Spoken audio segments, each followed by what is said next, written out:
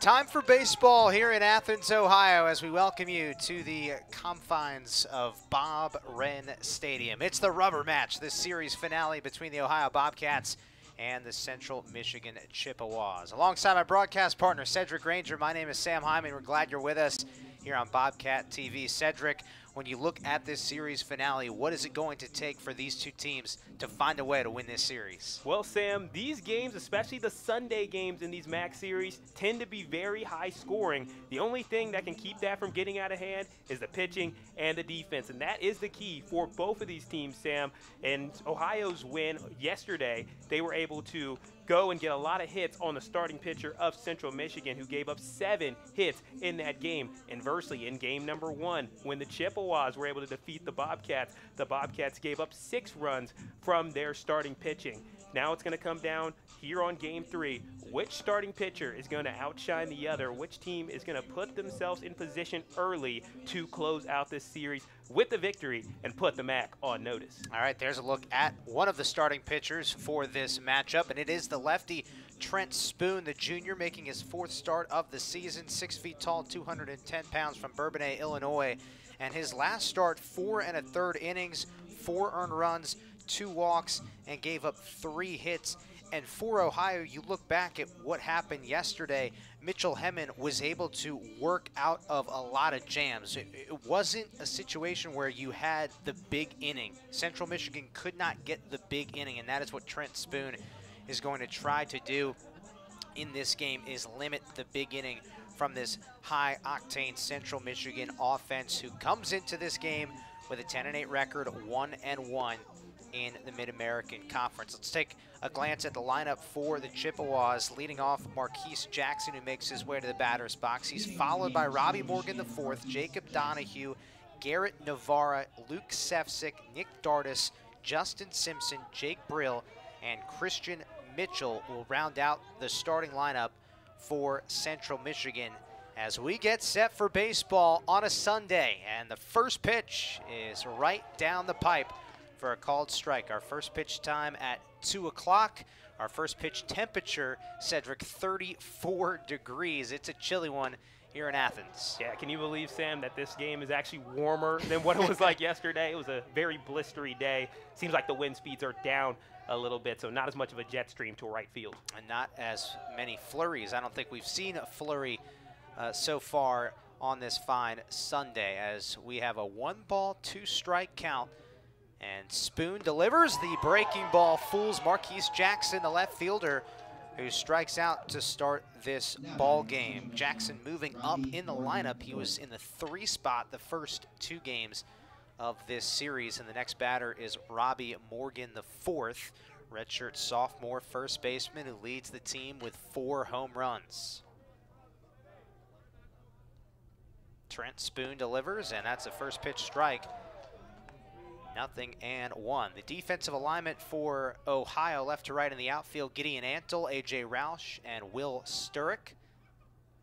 0-1 pitch paints the outer corner for a called strike, nothing and two.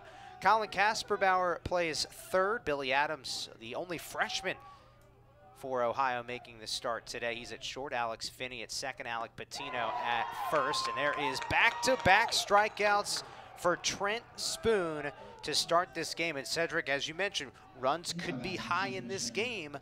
If Trent Spoon keeps this up, look out, Central Michigan. Yeah, he's certainly off to a great start. Absolutely dealing out there. Three pitch strikeout. That's what you like to see if you're a cat. Next batter, Jacob Donahue, the junior right fielder who is sizzling hot in this series, four of eight. And that's three first pitch strikes for Trent Spoon, the Southpaw from Illinois.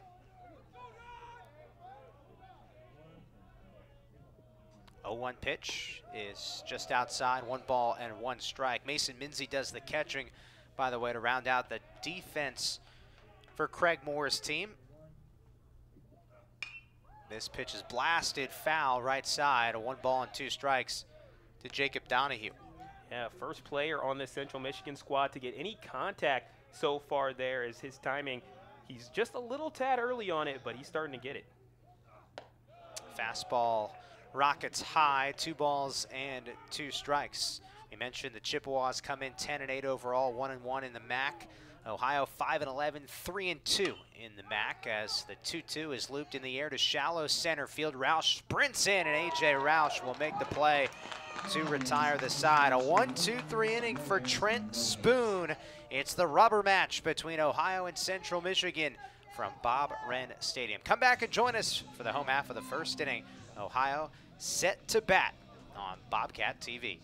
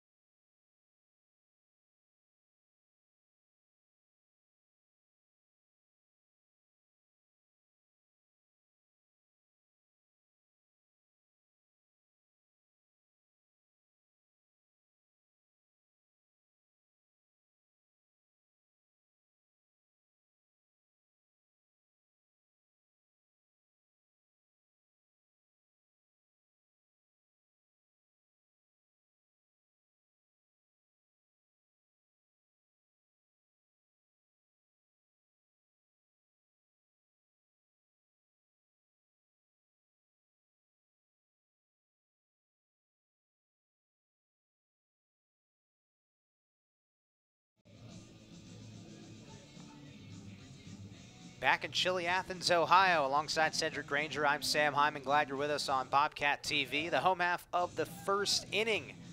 The Ohio Bobcats set to bat, and they are set to face that man right there, number 20 for Central Michigan. It's Garrett Navarra, who makes his fourth start of the season, a 4.86 ERA and 16 and two-thirds innings. His last outing against Sacramento State, Cedric, he struck out 13 batters.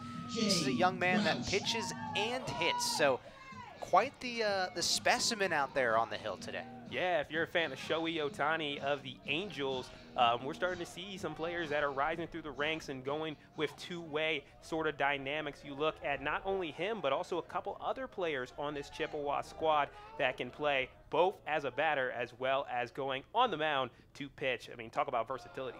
Very impressive, and he pitches exclusively from the stretch A.J. Roush leads off for the Bobcats, the redshirt sophomore center fielder. One ball and no strikes. Navarra kicks and delivers. And Roush bangs it high and foul to the right side. One ball and one strike. The rest of the lineup for Ohio, Colin Kasperbauer bats second. Mason Minzy hits third. Alec Patino, the junior first baseman, bats fourth. Will Sturrock is the number five hitter, followed by Gideon Antle, the junior left fielder as Roush pops it on the ground towards the second baseman. A little double pump from Sefcik, but he gets Roush in time. And that is out number one in the bottom of the first inning. The bottom of the order, Cole Williams. We'll talk a lot about Cole Williams. He hits seventh. Alex Finney bats eighth, and Billy Adams swings ninth as Kasperbauer makes his way to the plate for Ohio.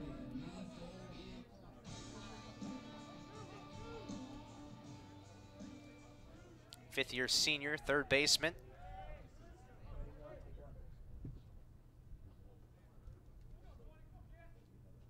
And the first pitch is rocketed high in the air, playable in left field for Marquise Jackson. And there's two up, two down to start the bottom of the first inning. Yeah, you got to respect first pitch swinging, but right now it seems like the pitchers have been determining the game flow early. And look at this, we we're getting a look at some of these guys trying to stay warm. Marquise Jackson, some some jumping jacks. In, in a game that is played outside and it's not like a soccer or or football where you're not constantly moving, these outfielders are going to have to find a way to stay warm when the baseball is not being hit to them in the outfield because it's only 34 degrees. It'll certainly be something. They do have heaters in each of the dugouts, but when you're out there in the outfield, you get to feel the full force of the frigid temperatures out there.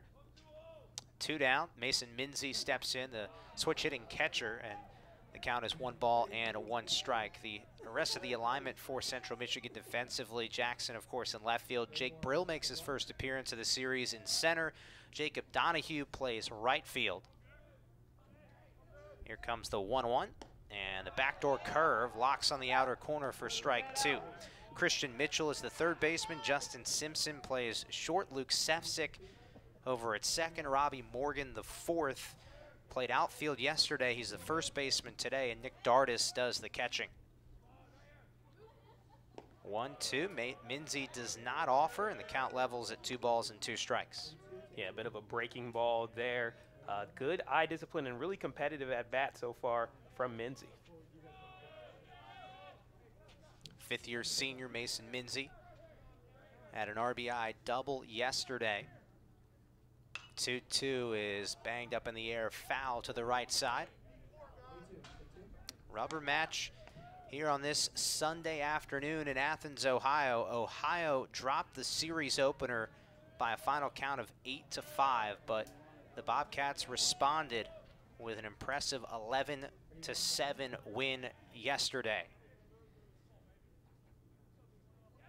The 2 2, and that changeup moves outside, ball three. Big pitch up coming early in this game for Navarra, who is making his 59th career appearance on the mound, the graduate student from Sterling Heights, Michigan. And Minzy drills this one high and deep to center field. Bye-bye baseball. Touch them all, Mason Minzy in the rubber match. Ohio starts off on the right foot, one to nothing.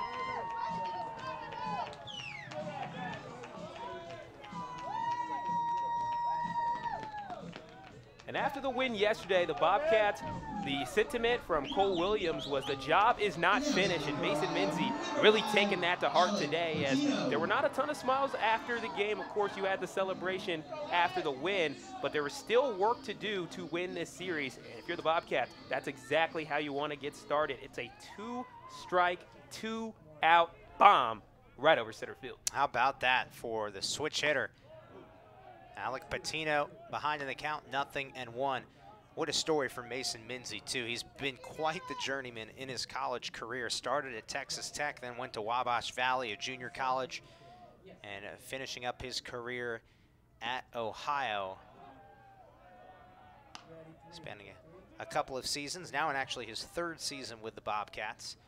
0-2 the count to Alec Patino after Minzy sending a message early Patino strikes out swinging, and that will end the bottom of the first, but not before Mason Minzy with now his team leading fourth home run of the season. The Bobcats trying to take down the defending MAC tournament champions in this series.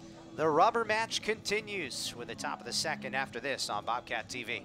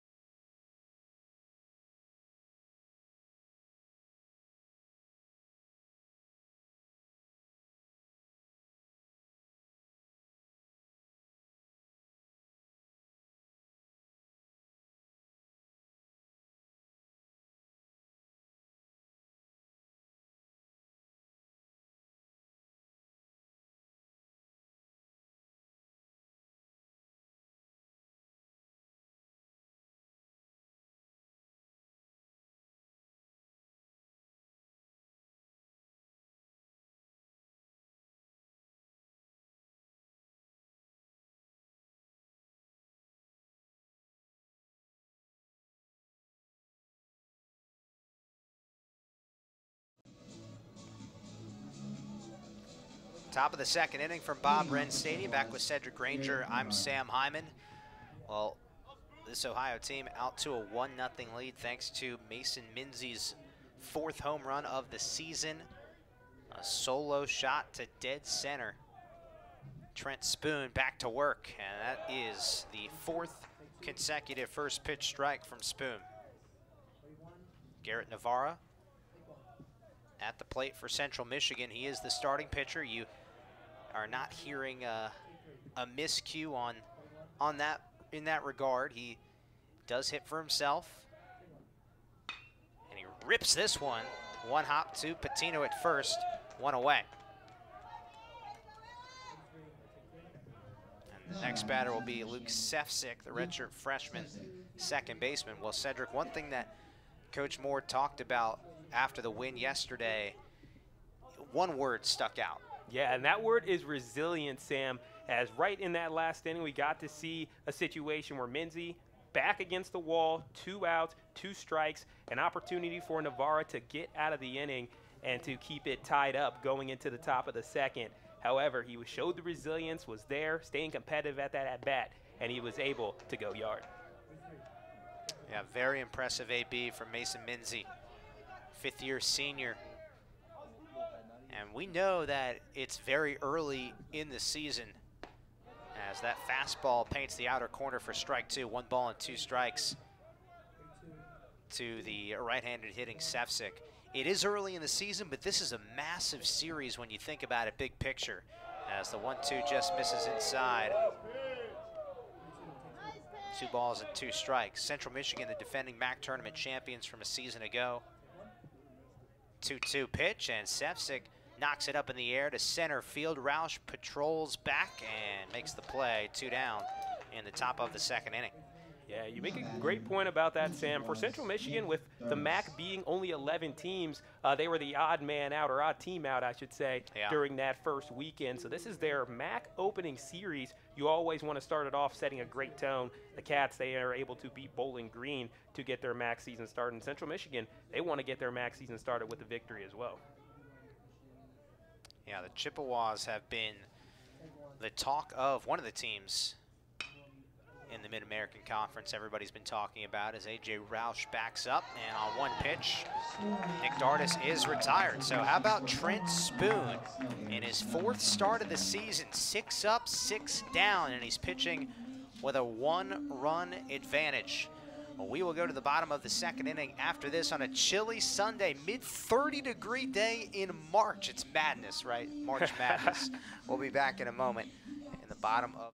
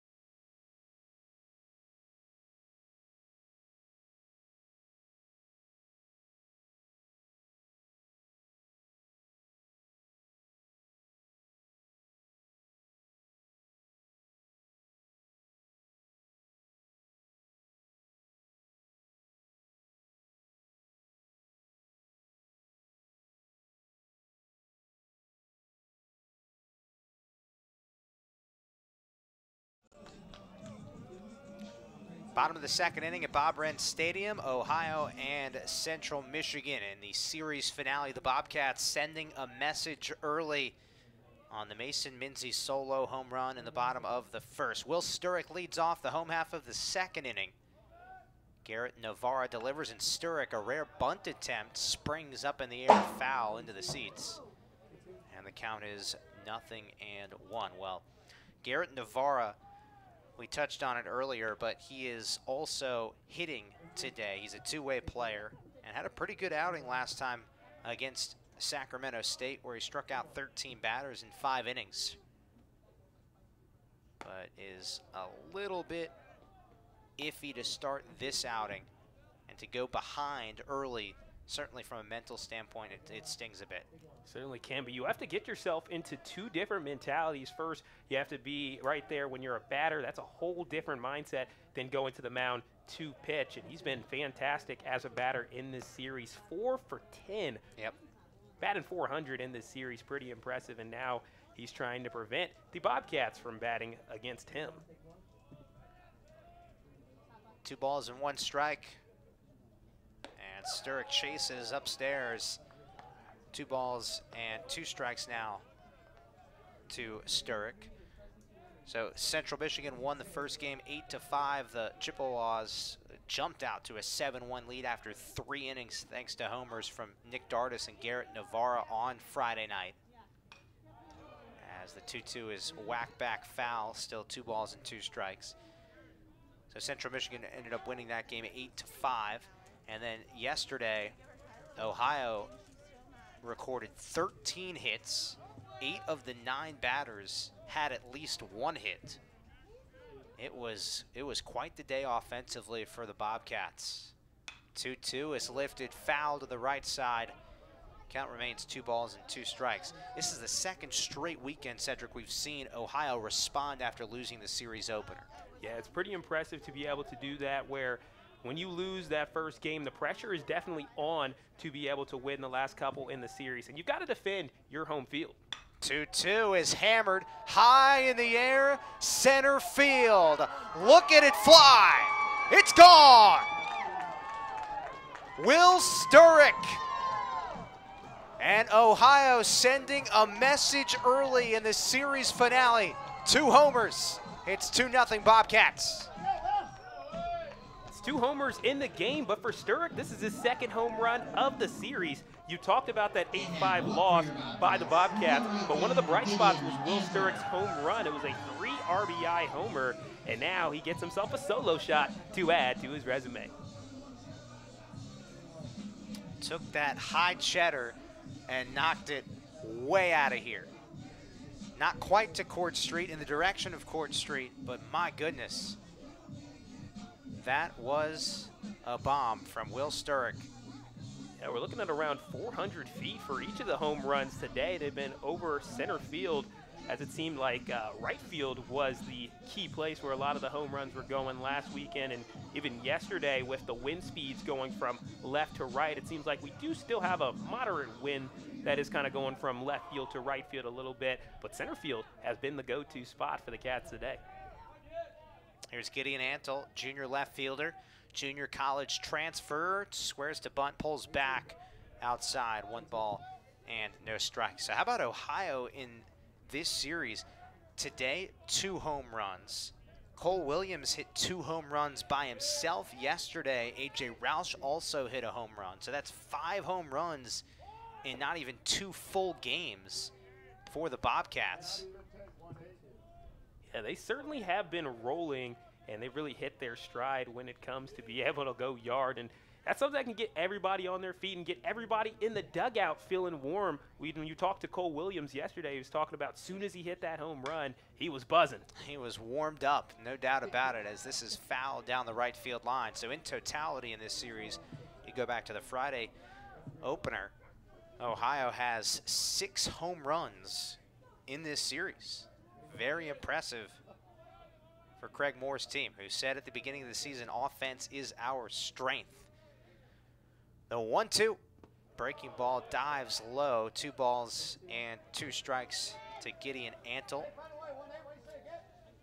Missed the first three games of the season with a hamstring injury, but has been outstanding since.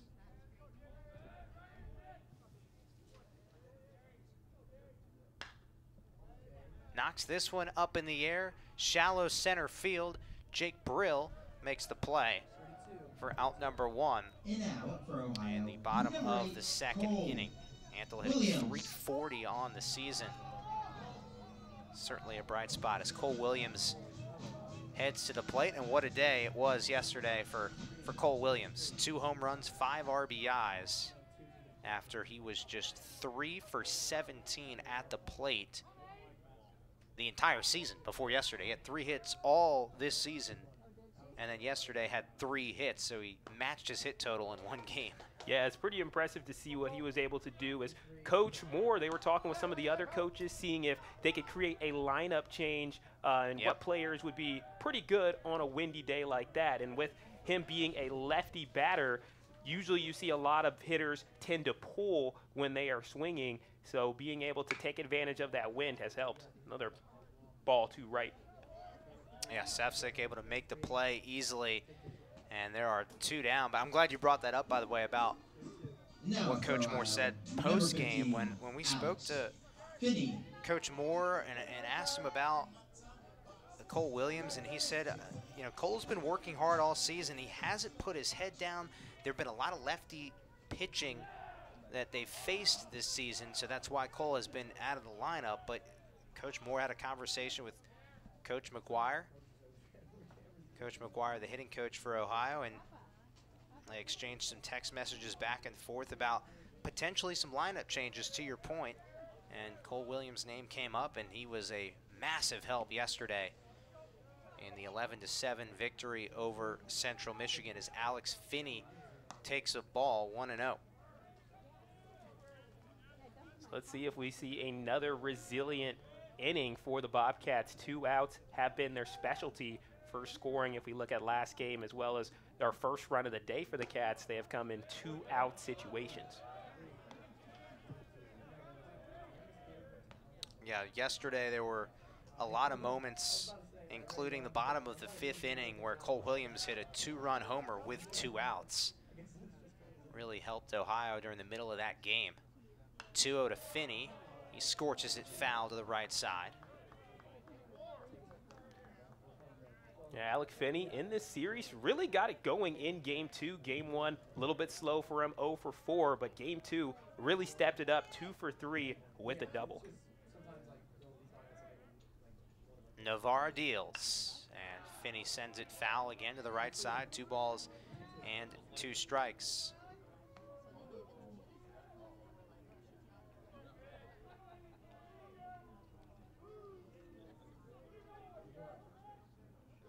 Two down, bottom of the second inning from Bob Wren Stadium. Series finale between the Bobcats and Chippewas. The 2-2, a jam shot up in the air. First base side, Robbie Morgan the fourth makes the play, and that will retire the side. But Will Sturrock, solo home run. It's his third of the season, and Ohio sends a message for a second straight inning. They lead it 2 0. Moving to the third when we come back on a chilly afternoon in Athens. You're watching all the action on Bobcat TV.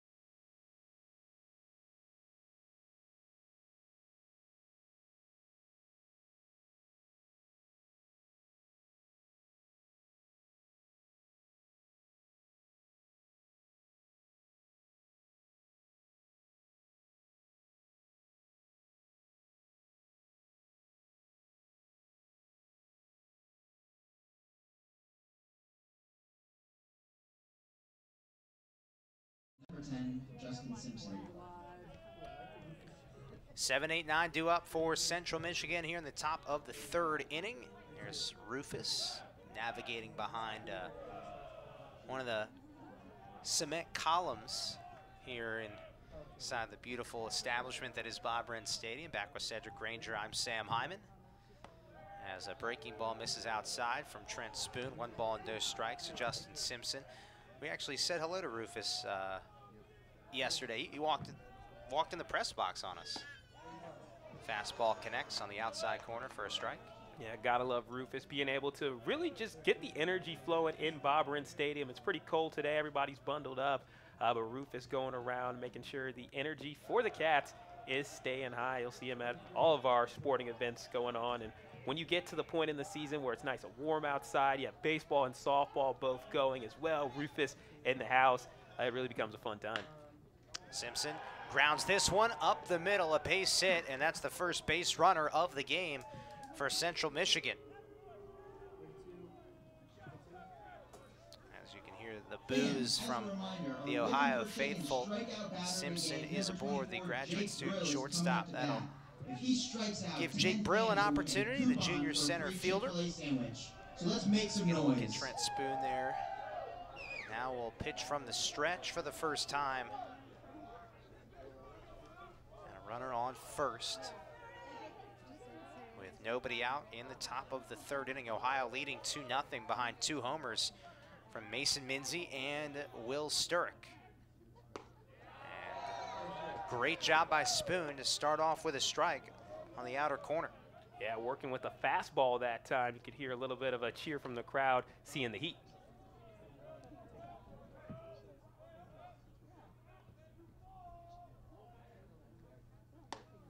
Uh, fastball zaps outside, one ball and one strike. Central Michigan's offense for the third straight game without its leading run producer, Danny Westenfeld, is out with an injury. We don't know the specifics behind what type of injury, but he has not played in this series, and he has a team high 17 RBIs. So, so yeah, Central Michigan's head coach Jordan Bischel having to make a couple of adjustments. One adjustment yesterday at work, Kate Preston had his first career home run, but it's tough to miss a guy for three games. It certainly is. You always hope that everybody can stay healthy when all these teams are matched up in the MAC. They are usually seen as measuring stick games, and that's the positive with having permanent opponents like this. And to be able to have teams where you're going to have to deal with injuries and deal with the ups and downs, you just hope people can get healthy. That is low for ball four. And Jake Brill, who is making his first appearance in this series, draws a walk, his first walk of the season. The junior center fielder who's making his seventh start just walked for the first time in 2023. And now Christian Mitchell, sophomore third baseman, comes to the plate as we look at the Central Michigan dugout. A lot of beanies, as expected, you know, mid-30s, Gotta rock the beanie when you're not out there. Even rocked a beanie during the broadcast out at OSF yesterday. Trying to stay a little toasty in that very windy broadcast booth. I wonder if you could wear beanies instead of hats on the baseball field, if, uh, if that's permitted. Here's a double steal, breaking ball. Minzy chucks it down to second. It's a rocket, but just a bit late. And that is what Central Michigan has done in this series. They have done a great job stealing bases, and this time a double steal to put the Chippewas in business second and third with nobody out. Yeah, they definitely take their chances. They've done so all season long. They are now sitting at 26 for 32 on those attempts, and those double steal situations kind of puts the catcher in conflict just for a second. The throw to second base, though, just a little bit late. Good effort there by the Chippewas. Good base running. So the corner infielders are in right now. Kasperbauer and the first baseman Alec Patino. Middle infielders are back. And here comes the 0-2 that zooms outside. One ball and two strikes to Christian Mitchell, who's two for seven in this series. Ohio leads 2-0. Series finale from Bob Wren Stadium. And a critical early conference showdown. This pitch is lined into left center field and down. Roush cuts it off. Two runs will score, and it's a two-run double from the nine spot. Christian Mitchell ties this game at two here in the top of the third. Your spoon right now is a chance to really catch up with your infield, catch up with your catcher right now, and just take a breath. Uh, Chippewas, they are a very dangerous offensive team, as we've seen all throughout the weekend. You will give up some runs to this team. How are you going to respond?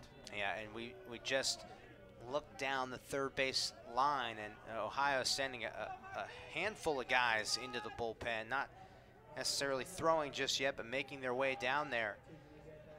Such a great start for Trent Spoon. He retired the first six batters of the game.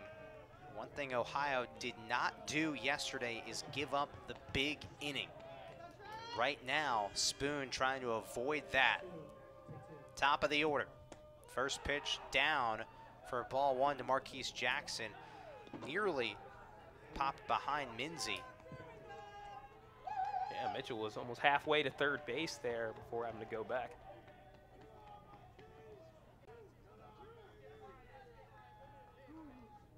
One ball and no strikes to Marquise Jackson, who struck out his first time up.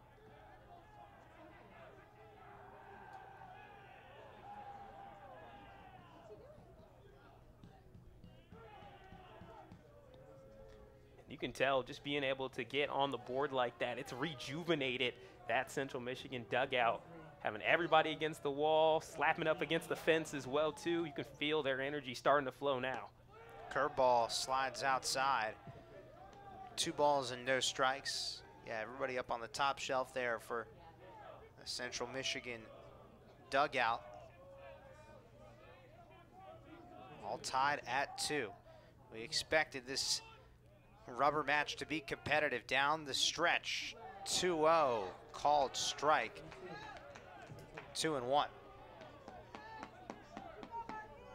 Chippewa's program that has been at the top of the league for the last several years. That's up and in. Jackson went around though. Two balls and two strikes. Yeah, every game against Central Michigan is always going to be a challenge for the Bobcats year in and year out. This is a Chippewa team that made it to the Gainesville Super Regional and gave yep. Florida all they can handle. Florida, number 13 in the country last year. There goes Mitchell, no throw. That off speed misses outside, three balls and two strikes. Since 2019, Central Michigan has two MAC regular season titles and two MAC tournament titles. One of those tournament titles came last season. 3-2 pitch outside ball four. So runners at the corners with nobody out. Trent Spoon has to dig deep yeah, got into quite a bit of a jam here. And with the way that Central Michigan has been very aggressive on the base pass, watch out potentially for Jackson to potentially go. And Tim Brown will make his way out to the mound for a visit.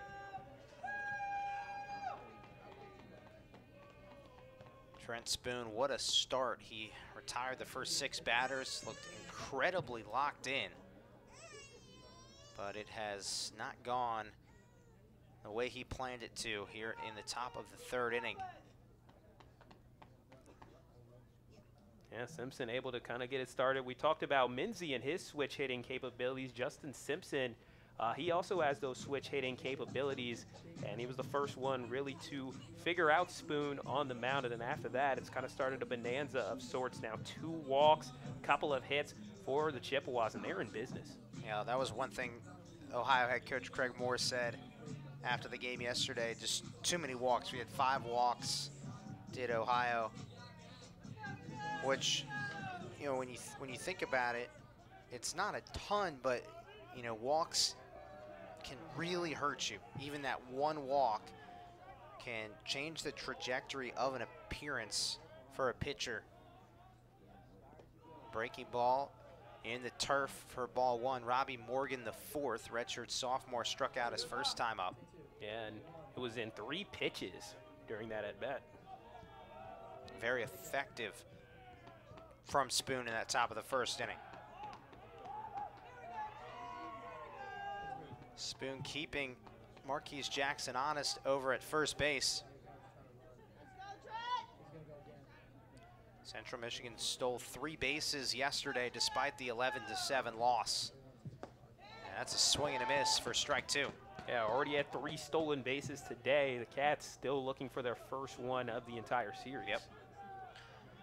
Yeah, Ohio hasn't really pressed any buttons on the bases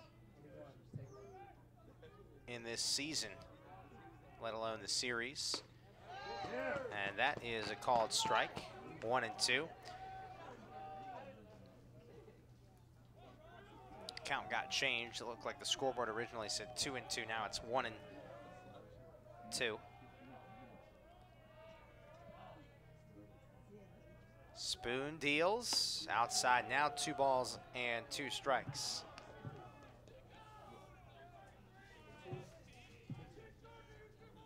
Robbie Morgan, the fourth, redshirt sophomore, 6'4", 225 from Groveport, Ohio. Jackson dancing over there at first base. He's got a massive lead. Daring Spoon to throw over there.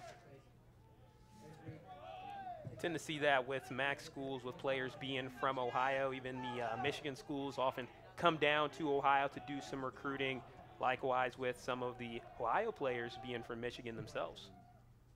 That's way outside, and the count is full. Three balls and two strikes. The rotation for Ohio has been consistent each of the last two weekends. Game one starter, Luke Olson. Game two starter, Mitchell Hemmond. Game three starter, Trent Spoon. That's the rotation. That was the rotation last weekend. It's the rotation this weekend with no Brendan Roeder for the second straight weekend. Spoon trying to get out of this jam. 3-2 high, and that is ball four. So the third walk of the inning from Trent Spoon. And the bases are loaded in a 2-2 contest.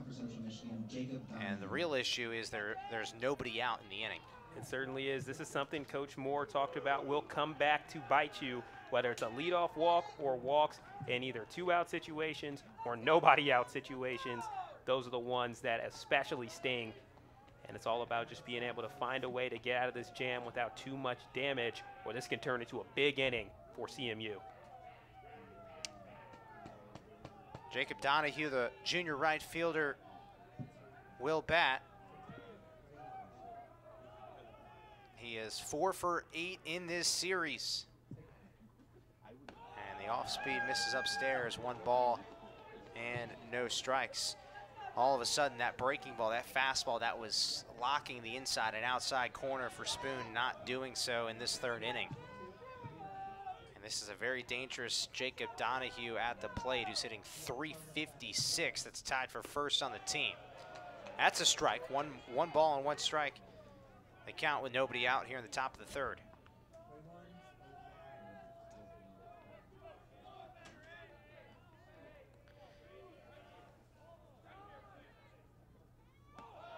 curveball misses high. Two balls and one strike. Christian Mitchell's at third.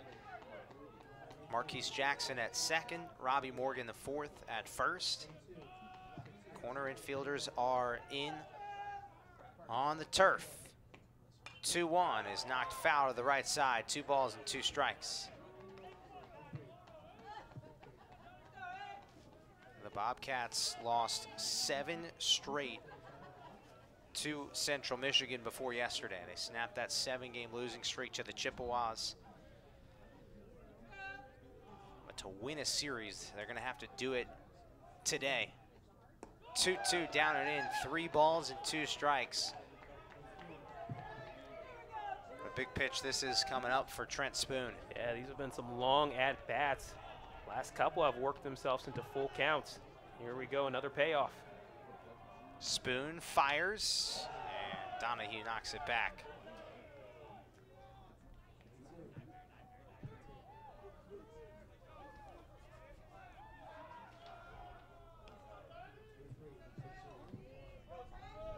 Three balls and two strikes with nobody out. The bases loaded. Trent Spoon has to find a way here. And again, fouled off. Heck of an at-bat from Donahue the junior right fielder. And you can't talk about a better situation than this. Bases loaded, nobody out. Just anything that you send into the outfield is going to be a sac fly. Donahue having himself a great season coming off a brilliant weekend at Sacramento State. He was 7 of 12 at the plate. And here hits this one in the air to right field. Sturrock shy of the warning track makes the catch. Mitchell tags and scores from third. Jackson moves to third. There are runners at first and second, pardon me, at third and first. And it's a 3-2 lead for Central Michigan here in the top of the third inning. So Robbie Morgan, the fourth, stays at first. And that is the first out of the inning on the sac fly from Jacob Donahue. And now here comes another chance here for Central Michigan to up the ante. Now that they have the lead for the first time, Navarra can really stick it to the Cats. Navarra bunts it up in the air. Here comes the runner at the plate. Minzy's tag is late. Jackson with some speed. He gets there just in the nick of time.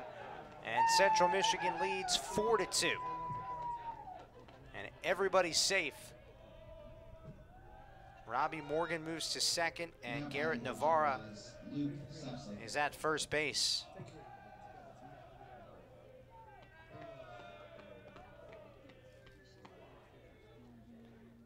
And because that bunt was up in the air, I think that gave Jackson a lot of time to get down the baseline.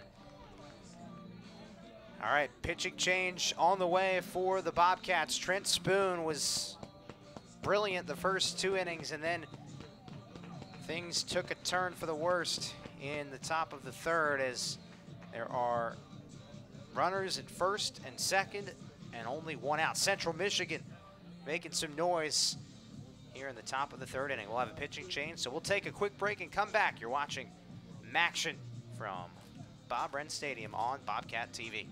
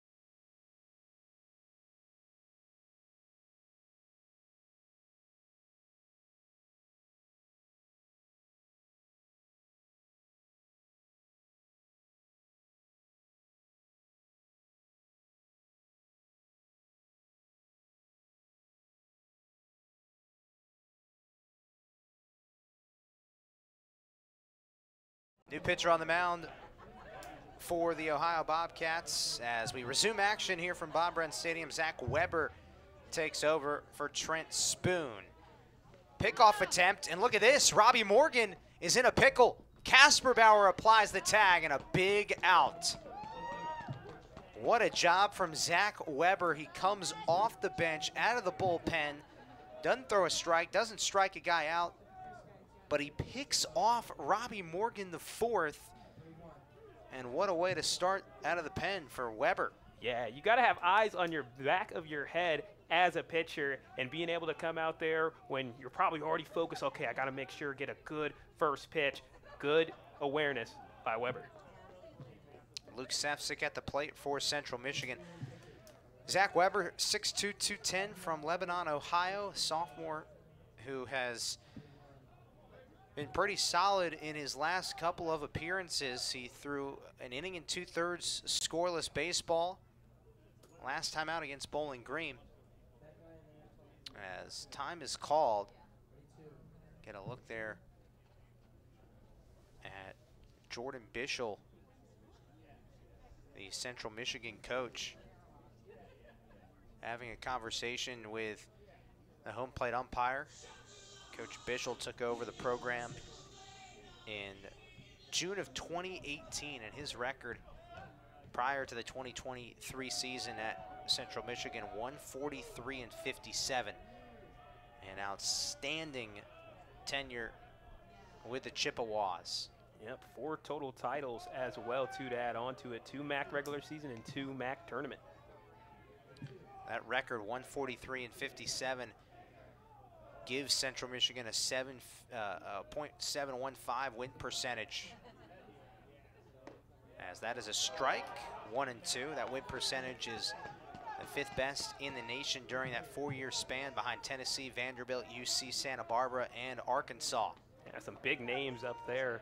A couple of top 10 programs over there in the SEC. One two is pulled on the ground towards short. Billy Adams fields the freshman throws to first, and what a play by Patino to dig that one out, and that will retire the side. So Zach Weber comes out of the bullpen. He picks off Robbie Morgan the fourth, and then he gets Luke Sefcik to ground out. So the damage limited, but Central Michigan puts up a four spot in the third, and an Ohio 2 0 lead is turned into a two run Central Michigan lead. We go to the bottom of the third after this on Bobcat TV.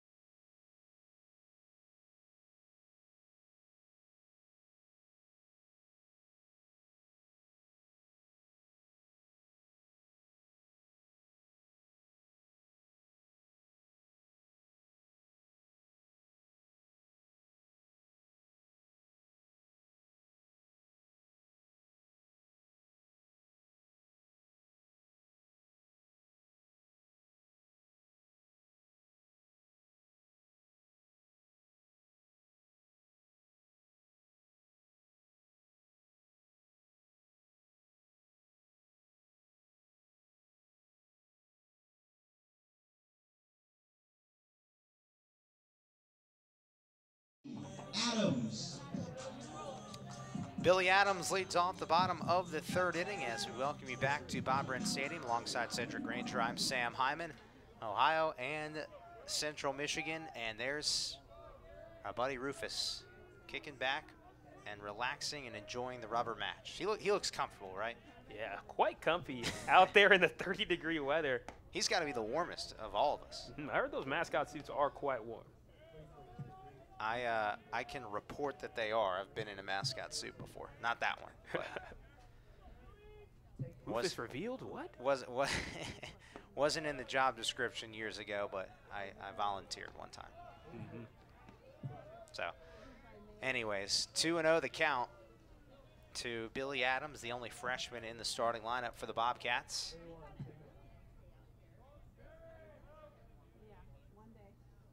Two zero is lifted in the air to the right side and foul. Yeah, Billy Adams, I mean, when you're a freshman coming up to the D1 level, it's always a very difficult adjustment, but he's really made it easy. He did have some struggles kind of in practices and everything like that, but he's really gotten it going throughout his young season already, batting 326 on the year. Yeah, Craig Moore said he's a he's a competitor. Billy Adams competes, doesn't let the opposition get to him mentally. On a four-game hitting streak, hitting 326 this season, and you know, he's the only freshman in the starting lineup for a reason. He he can flat out play. He was a big part of Ohio's doubleheader sweep last weekend against Bowling Green. 2-2. Zips outside, three balls and two strikes. Yeah, almost having his first home run in that Bowling Green series as well, if it wasn't for Archer skying up in the air to rob him. Nathan Archer, one of the best position players in the Mid-American Conference, hailing from the Bowling Green baseball program. 3-2 is rocketed into right center field, and how about that? Billy Adams on a full count out of the nine spot turns the lineup card over for AJ Roush. And that's just another example of the Bobcats hitters just being able to work and win these counts. Every single hit that they've gotten today, Sam, have been in two out situation or two strike situations. Really nice piece of hitting there from Billy Adams, who extends his hitting streak to five games. And now AJ Roush steps in, the redshirt sophomore center fielder, who leads the MAC with eight doubles. And that is inside for ball one. AJ Roush is Ohio homemade. He comes from a family of Bobcats. Parents, sisters, and some of his cousins all went to Ohio. So very comfortable in this Athens setting.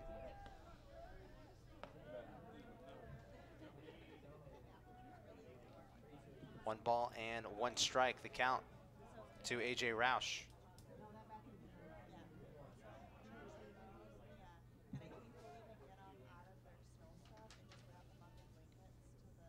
And that misses. So the count is two balls and one strike.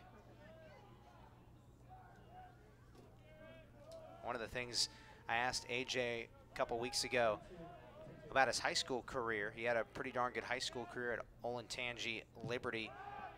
As we check over at first base and see Adams get back, I asked him, what did, what did you learn the most about your high school career? And, and AJ said, don't rush yourself. And he's a perfect example of a guy that waited his turn. His sophomore year, he came off the bench, part of a state championship run, and accepted his role coming off the bench, being a pinch runner. Don't rush yourself. He, he said he did say he thought he was good enough to play varsity his freshman year, but he was on the JV team, so that sort of humbled him into a spot where he was forced to work and, and work behind the scenes by himself and get better. Here comes the 3 1, and AJ skies this one in the air down the right field line and foul, full count.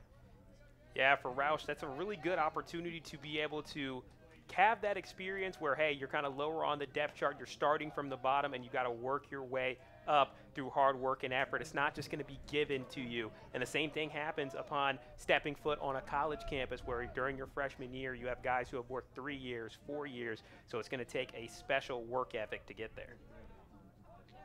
Three balls and two strikes. Billy Adams at first. And AJ watches that one zip outside, ball four. And the Bobcats in business in the bottom of the third inning with runners at first and second. Nobody out. Here comes Colin. Number This is the this is the top of the order here for, for Ohio. Dangerous part for Garrett Navarro Navarra to be facing. And time is called.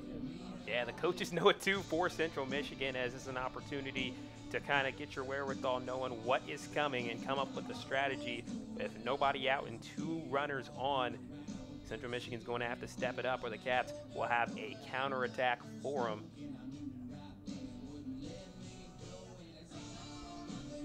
Yeah, time is called. Jordan Bischel, head coach, is looks like he's going to keep Navarra out there on the mound. Bischel, prior to, we talked about his success at Central Michigan so far, 143 wins and 57 losses prior to the start of this season. Spent four seasons as a head coach at the Division II level, Northwood School in Midland, Michigan. It's always good to see some of those coaches that start at the D2, D3, junior college levels and work their way up to the D1 level. Beautiful bunt from Colin Kasperbauer, right back to the pitcher Navarra, and that is as good a sacrifice bunt as you could ask for. Roush moves to second, Adams over to third for Mason Minzy, who homered his last time up. Exactly what you want in terms of being able to put yourself in position to drive some runners in.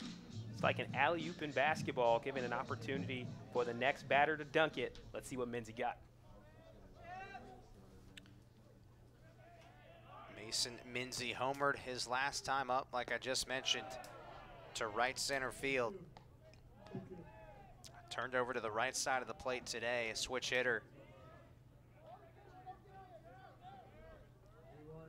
Billy Adams at third, AJ Roush at second. And Minzy cracks this one into center field. Brill backpedals, makes the catch. Adams tags up from third. So does Kasperbauer. He advances to third base. And there's a productive out from Mason Minzy. A sacrifice fly and the Bobcats crawling their way back.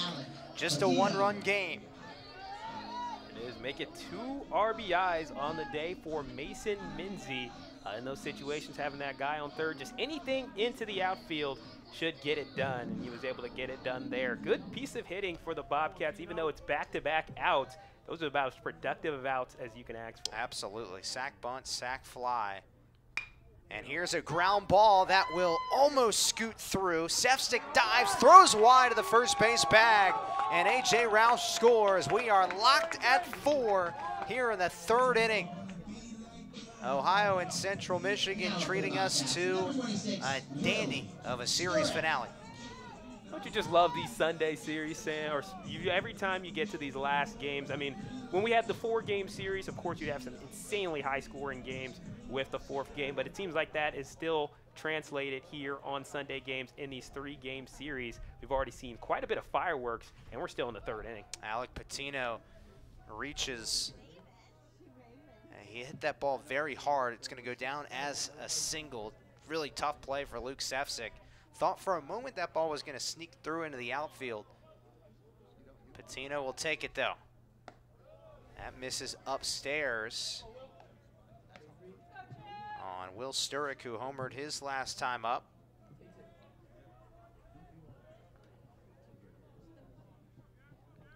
Alec Patino just drove in his team leading 22nd batter runner of the season as Sturrock takes strike.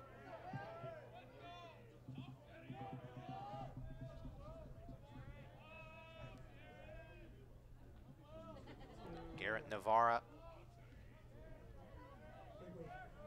comes set and delivers. The 1-1 misses badly. Two balls and one strike to Sturrock. Well, no lead is safe in this series, that's for sure. Not at all, as you have seen tons of responses where it seems like all the time you have a team that goes on a little bit of a run and then you come back where a team tells you anything you can do, I can do better. As the Cats, they practiced all throughout these past couple of weeks situational hitting. They do like in-game scenarios where you might have a guy in scoring position and you need to come up with a big hit, and you can see how that translates into games. Check over at first. Patino goes back. We said at the top, whichever pitching staff can limit the damage just by a, an eyelash over the opposition will likely win this game because both offenses just won't stop. Here's Will Sturrock. This one spins in the air to right center field and down. Patino goes first to third, and the Bobcats booming with two outs once again here in the bottom of the third inning. Just when we saw the offense explode for the Chippewas, here it comes from the Bobcats. Starting to adjust and adapt more and more to what Navarra is throwing at them. Garrett Navarra, two-way player. There he is on the mound, 5'11", 210 from Sterling Heights, Michigan, making his 29th career start for the Chippewas has been rocky from the start. Gideon Antle whacks the first pitch foul to the right side. And the count is nothing and one. Ohio looking to win this series again with the way that the, the format has changed in the Mid-American Conference from last year to this year where you've got three game series as opposed to four games you get nine times out of 10, somebody's winning the series as Antle hits this one into left field. Two out hitting, clutch for the Bobcats as Antle slides in safely to second base, and Ohio reclaims the lead here in the bottom of the third, five to four. Sam, this team just excels at being able to get those extra base hits. They just eclipsed 50 on the season in their last game, and they have kept it going. Being able to go and turn what could be a potential single into two when you have the opportunity to, absolutely fantastic, and this may be the end of Navarra's day. Second and third, two outs. And that is going to be it, like you said, for Garrett Navarra. Jordan Bischel takes the baseball from him, and that will send us to a commercial break. 5-4 lead for the Bobcats after going down four to two in the top of the third inning. Ohio has responded so far, three runs in the bottom of the third and two runners in scoring position for the Bobcats. When we come back, we'll tell you about the pitching change after this on Bobcat TV.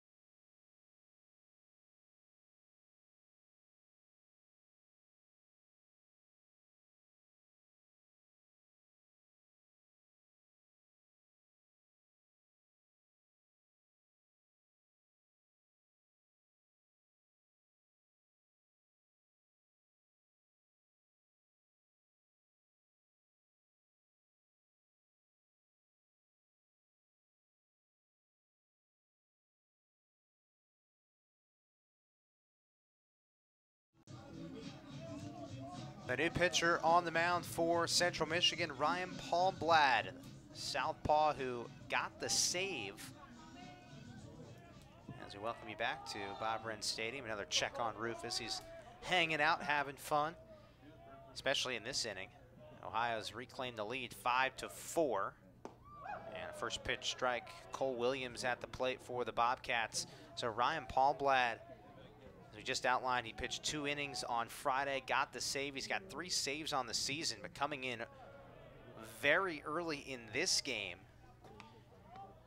probably because you know this is the series finale and you're you're playing to win the game and you don't want to wait around before you use your better relievers.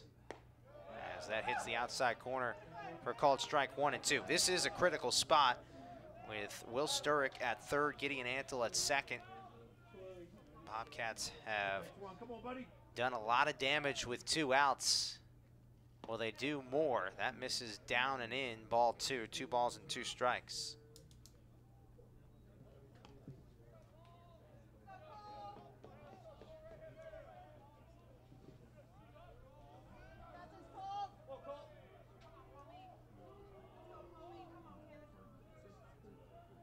The 2-2 pitch is on the inside corner. It freezes Williams.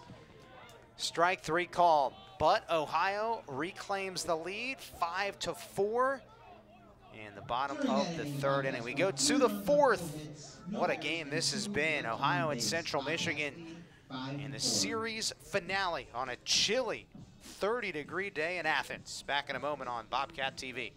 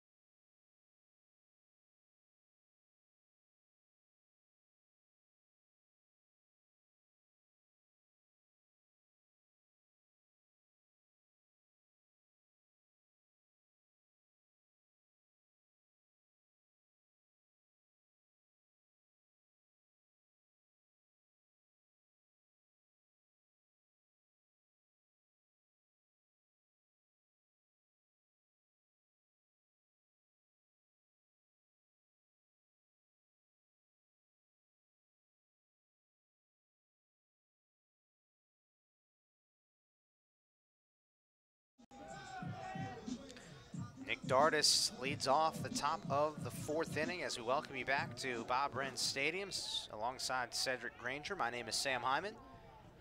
Glad you're with us on Bobcat TV, a chilly one. 35 degrees here in Athens. Zach Weber back on the mound for the Bobcats. And the first pitch to Dardis is a strike, nothing in one. Well, Cedric, Ohio responds with three runs of their own in the bottom of the third inning to retake the lead five to four. This is the type of game where you got guys as this is hammered down the left field line and foul. Wow, a screaming foul ball there from Dardis that had everybody holding their breath. Yeah, especially if you parked your car out there. Did you? I did not. Okay, good. Just gonna say, I'd give you a sec. We'd have to pause the game. You go check your your car Go see check if, it's, car. see if it's okay. 0-2, waved at and missed for strike three as Dardis is retired. Anyways, this is the type of game, you know, you get to the series finale. Now for Central Michigan. Used a lot of pitchers. The offenses are, are, are cooking. Things are, are going well. Every single pitcher that comes in for either team could potentially be the hero. That's how massive a, a situation this is where a lot of the arms are tired. Yeah, that's why teams aren't afraid to throw out their best guy, even if they've pitched in game one, for example, like with Palmblad of Central Michigan playing in his second game in this series. Just knowing how pivotal it is for Chippewas, you want to start off on the right foot and really show, like, hey, we're still the kings of this conference and defend your crown. As for the Cats, they could put the entire MAC on notice with a victory here. One ball and one strike to Justin Simpson, a graduate student playing shortstop today from Orange, California. That's a strike, one and two. Simpson led the nation in led the nation with 20 sacrifice bunts last season. He does not have one this year. Had a really good season in 2022. Ranked second on the team with 15 steals. Had 54 walks a season ago. Tied for fourth in a single season in Central Michigan history. As that misses for ball three. Three balls and two strikes to Justin Simpson. This season, Simpson off to a slow start. He's hitting just 194, but he does draw a walk. That is his 14th walk of the season. And He is aboard for the second time today. Waiting for Chicken strikeout batted in And for Central Michigan, that's the 100th walk that they have forced this will be season. selected to win a coupon for a free Chick-fil-A sandwich. Real courtesy of our discipline at the plate. Chick-fil-A. Next batter is Jake Brill, the junior center fielder, who walked his last time up. Walks have really hurt Ohio in this game. Trent Spoon, the starter, walked three, that was in one inning. As that fastball punishes the heart of the zone for a called strike. Nothing in one.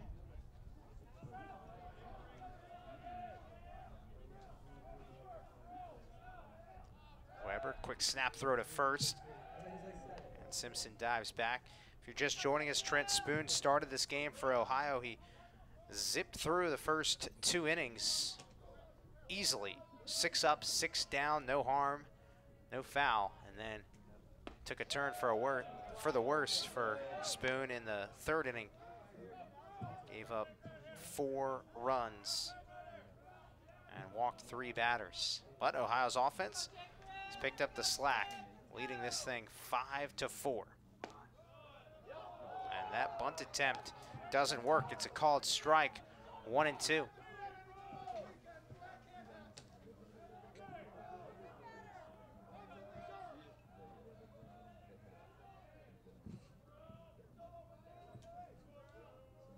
Simpson's got a massive lead over at first, and Weber chucks it over to check on Justin Simpson. Simpson this season is three for three in stolen base attempts. He was 15 of 17 on the base pass last year. That's a massive lead once again. Yeah. Clearly, Weber is, is locked in and making sure he doesn't get a good jump. Yeah, I like the way that he is really navigating things on the mound right now, just being able to keep these runners honest. We've already seen three stolen bases from the Chippewas, and I'm sure the coaches tell them we want to. Know that's enough of that. Here's a ground ball chop towards third. Kasperbauer throws to second and gets the force. Simpson out. And there are two down. So interesting there. You have a guy like Simpson who's fast. Clearly a hit and run was not on, and that allowed Kasperbauer to get the out. Christian. So Jake Brill advances to first on the fielder's choice. And Christian Mitchell will step in. He is the number nine hitter. Sophomore third baseman produced a two-run double his last time up. He watches that one settle on the outside corner for strike one.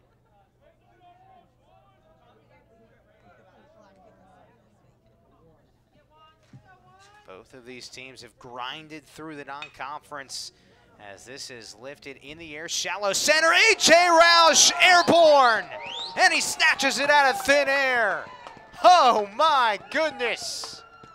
Sam, I just stood up in my seat after that, and I think everybody in Bob Wren Stadium just put their hands in the air watching Roush go out to make that diving catch. It looked like Superman there, all the way out there to make that catch. If you aren't warmed up now, I don't know what's going to get you warm because that was unbelievable. A.J. Roush, a big time play in center, and the Bobcats still lead it 5 to 4 going into the bottom of the fourth inning. Right after this on Bobcat TV.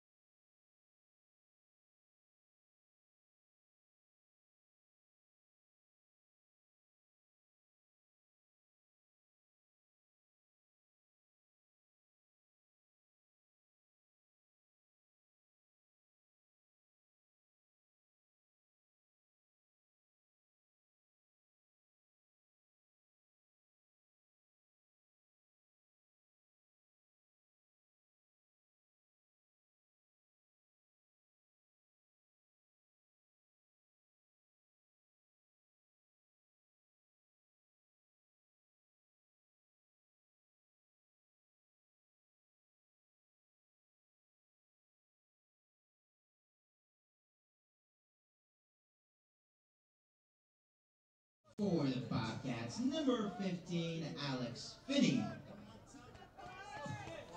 All right, we welcome you back to Bob Wren Stadium. The blankets are out, the beanies are out. I'm sure the hot chocolate is is being consumed because look at those fans. They're they're trying to stay warm.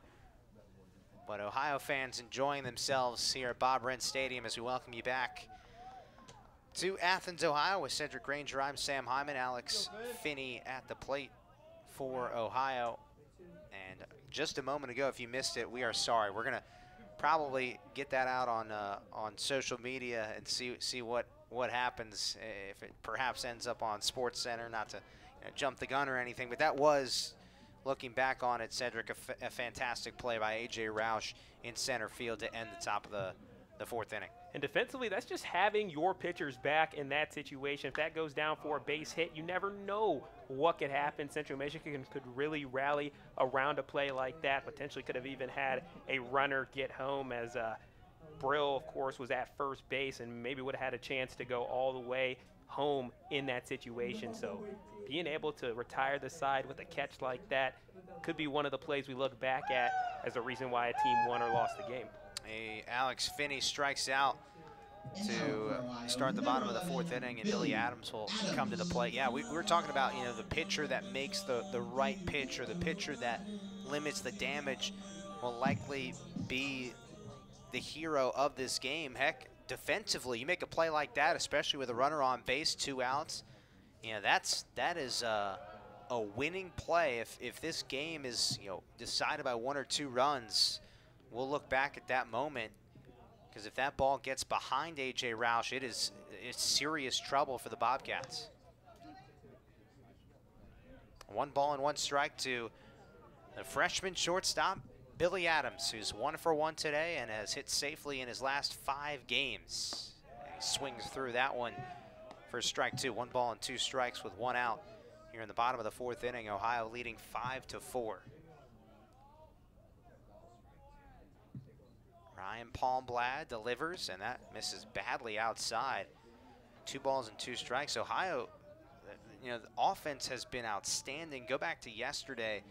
Nate Ross, one of the best relievers in the Mid American Conference, gave up four hits and four runs when facing this Ohio offense. And that, that guy came into the game with a sub two ERA. Nate Ross is no joke, one of the best relievers in the MAC. And then Ryan Palmblad, who is one of the one of the closers on this team, three saves. He's been in a spot right now. Does get Adams to pop up, and Sefcik makes the play for out number For Ohio, number two here in the bottom of the fourth inning. Palmblad did do his job in, in the Friday game. So far, he's done his job here in this game. Three up, three down since coming in. Yeah, just like the weather where you'll have hot and cold days, it's the same thing for the pitchers. You'll have hot and cold days for Nate Ross. Just had a day that he will want to forget, but I'm sure he's going to continue being a top pitcher, top closer in the MAC. And for the Central Michigan team, you have two players that you can really depend on in in-game scenarios and both Ross and Palmblad, each having three saves on the year. And that is key to really find that guy in your staff that you can depend on in some of the primary games of these series, especially when you're trying to start off on that first day, trying to come out with a win, and then also your closing part of the series as well in game three. A 1 1 misses down and in for ball two. Two balls and one strike. AJ Roush, here he is, the man of the hour. After a spectacular web gem in center field to end the top of the fourth inning. And that one settles top shelf. Roush didn't think so. Count as two balls and two strikes. AJ Roush, by the way, primarily played a, a corner outfield position last year, moved to center field this season as he waves and misses for strike three, and that is a quick one, two, three inning for Ryan Palmblad in the bottom of the fourth. We go to the fifth inning after this, 5-4 lead for Ohio, and this series finale. Ohio took game two. Central Michigan won the opener. Something has to give here today on this fine Sunday in Athens.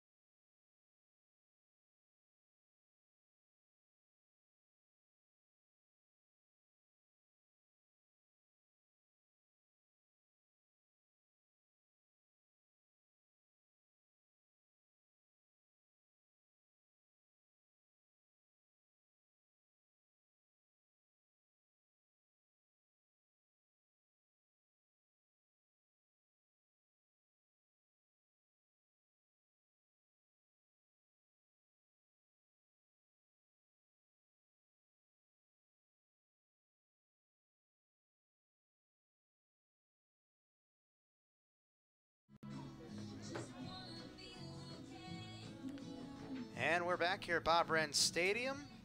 Ohio leads it five to four. A reminder: next up for the Bobcats will be a road game midweek against Morehead State on Tuesday, and then Ohio will play its first MAC Road Series against Northern Illinois. And you can catch all the action on the Varsity app with Russ Eisenstein on the broadcast next weekend from DeKalb.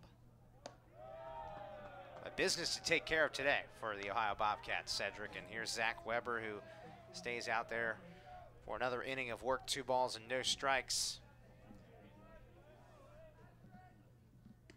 And that misses inside, ball three, 3 0 to Marquise Jackson, who's doing everything he possibly can to stay warm. He's got the ski mask on, covering his mouth. That bounces in the turf for ball four.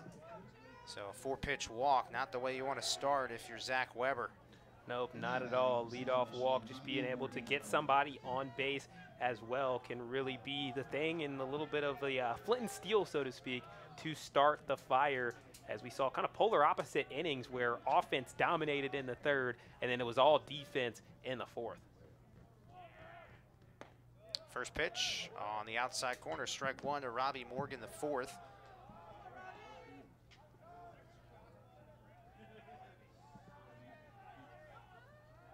Check over at first, and Jackson dives back safely. Yeah. Yeah, for the Cats, just being able to have an opportunity to be in this series, to try to win two games against Central Michigan in this series for only the second time since 2009. It really goes to show how much the Chippewas have dominated in this series and how big of an opportunity it is for the Cats to have an opportunity to win it here on a Sunday. Here's a sky ball into right center field. It's carrying well with the wind, and that ball is gone. Robbie Morgan, the fourth, with his team leading fifth home run of the season, and Central Michigan has got the lead again, six to five. And there it is, Sam. Lead off walk coming to bite the Bobcats. That's the difference between this game being a tie ball game and it being a Chippewa lead. Hats off to the maroon and gold.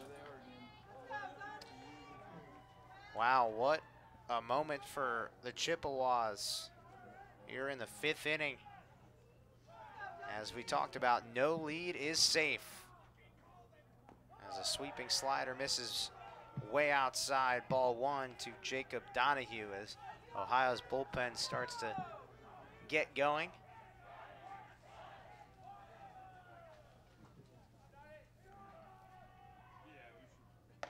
Misses upstairs, two balls and no strikes. Top of the fifth inning from Bob Wren Stadium series finale. And that one hits Donahue on the back. And the Chippewas dugout is incredibly energized right. Now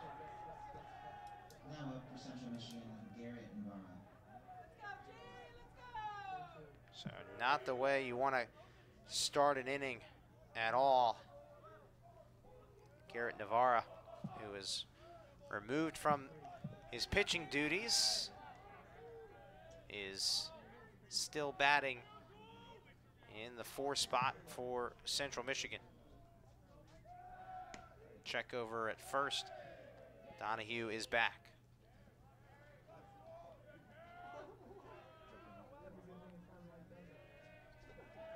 Another throw over. Weber's been consistent with his pickoff attempts.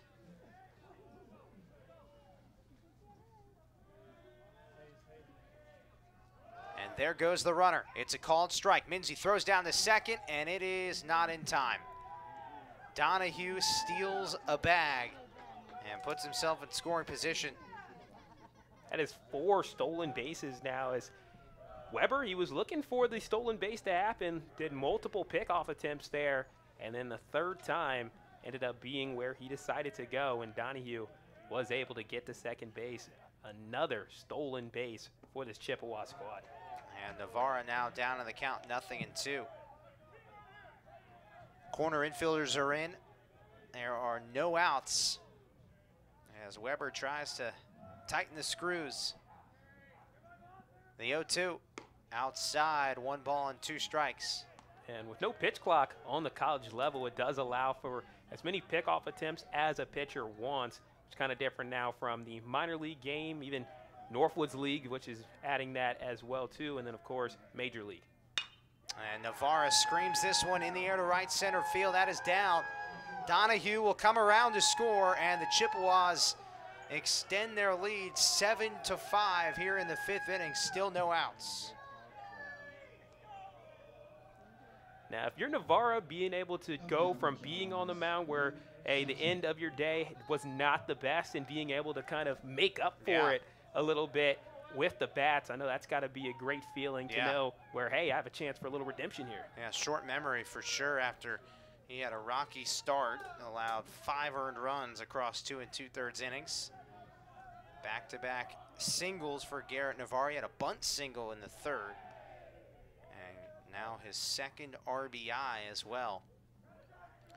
Luke Sefcik at the plate. Zach Weber again throws over to first. Weber confident with the pickoff attempts, as we alluded to it. He came into this game in the third inning and picked off Robbie Morgan the fourth right away, sending a message. And now Tim Brown will make his way out to the mound. Has uh, set, uh, the pitcher Zach Weber has not thrown a pitch yet to Luke Sefcik. So we shall see if those pickoff attempts were perhaps buying the relievers down in the bullpen for Ohio some time. Or is this just a conversation to calm down Zach Weber?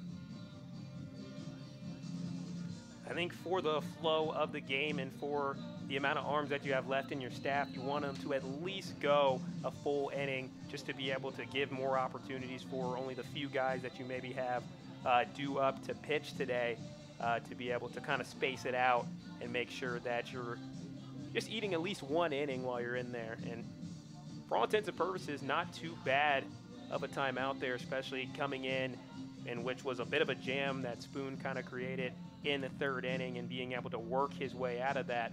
But it appears it will be the end of his day. Yep, it will be the end of the road for Zach Weber. So we will take a quick break for a pitching change, and Ohio now will look to regroup.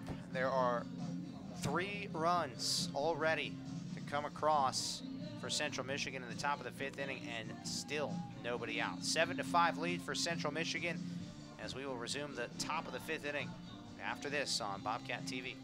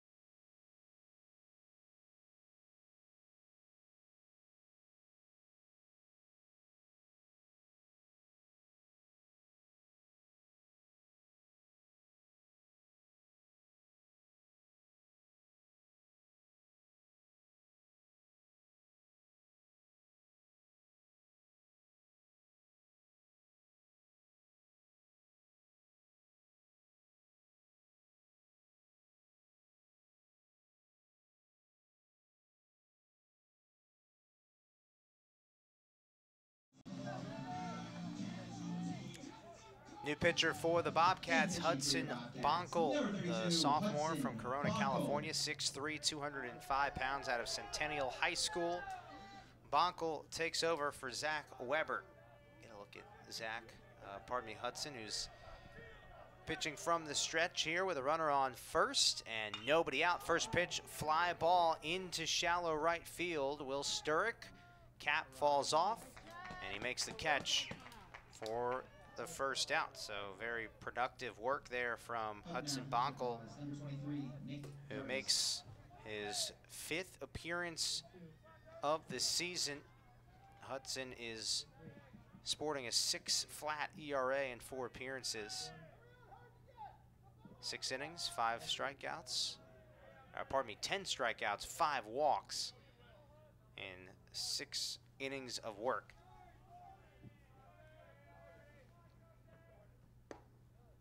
That hits the bottom part of the zone for a called strike. Nothing one to Nick Dardis. Craig Moore, the head coach of Ohio, told us at the beginning of the season that Hudson has a very good breaking ball and his fastball heats up in the low to mid 90s, 91 to 94 miles per hour. on that fastball.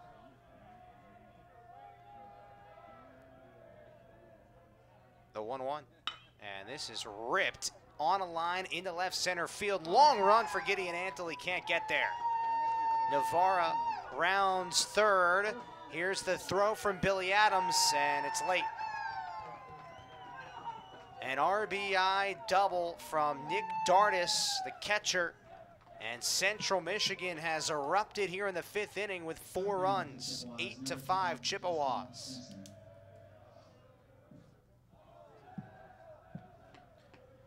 Look at the dugout. Yeah, they are having on fun. fire right now. Why not?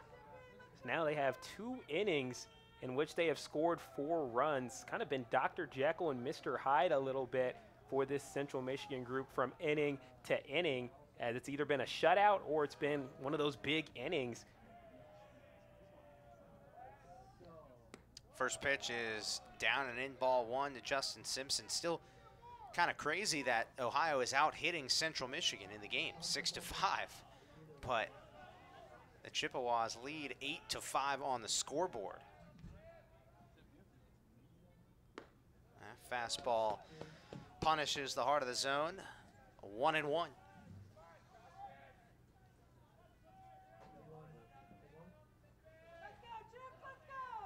Series finale from Bob Wren Stadium. Central Michigan and Ohio.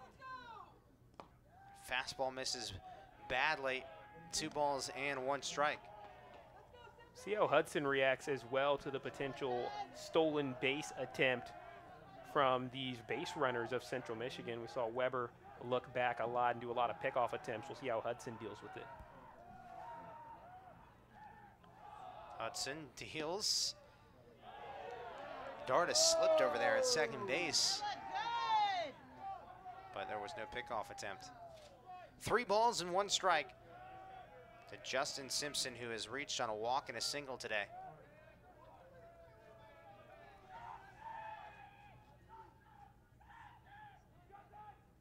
And the 3 1 is tapped foul, first base side. Count is full, three balls and two strikes.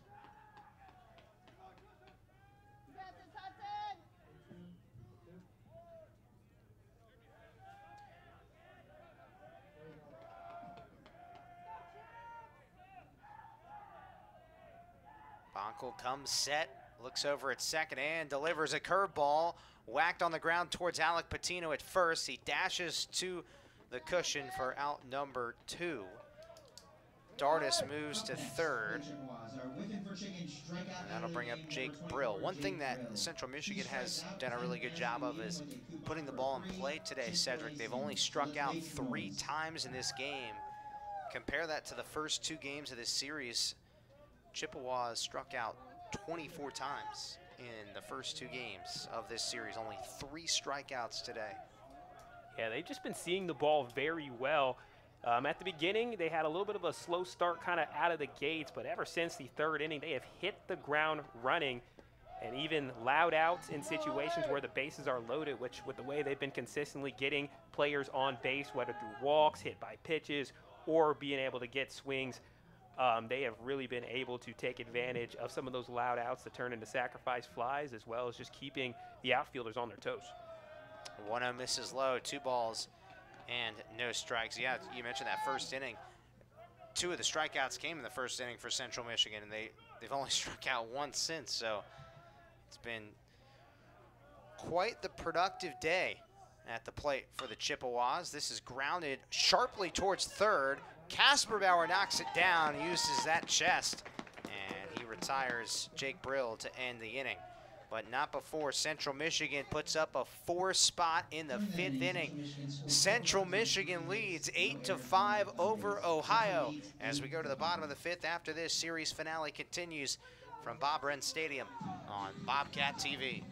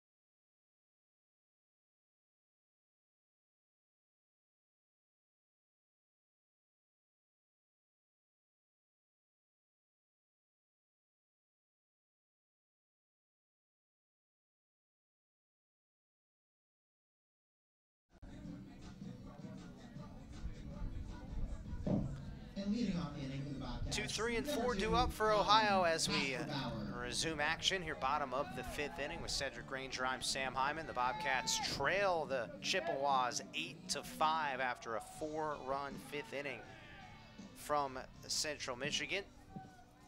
Colin Kasperbauer, Mason Minzy, Alec Patino scheduled here in the home half of the fifth. Ryan Palmblad continues to work for the Chippewas. As we just noticed some wind starting to pick up here in Athens. No surprise, but we're just giving you the information. It is really whipping on the right side of the field and bleachers. Two balls and no strikes.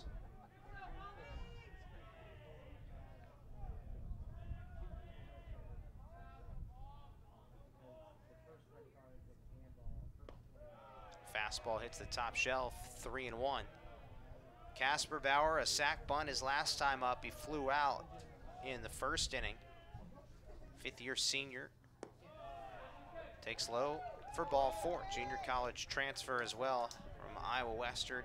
And now up for Ohio. Mason number 10, Minzy will Mason come to the plate.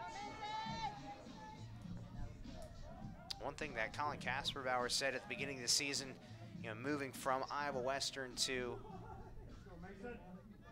Athens, Ohio, making that transition a couple of years ago, he said, "I'm okay. I, I've learned that I'm okay on my own." He was he, he is now much further away from his family, 14 hours from Athens to Sioux City, Iowa, where he grew up.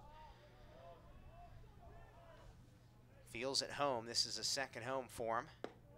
As Minzy takes for a called strike. One and one. I'm interested to see how Ohio will respond. I mean, the last time they gave up four to Central Michigan, the Bats were able to have the back of the pitching staff being able to put up three of their own to retake the lead. And now they find themselves down by their biggest deficit of the day. The score actually matching the score from game one right now, and we're not even halfway through the game. Um, we'll see what the Cats have with their bats. The offense is a strength, and they will need a lot of runs.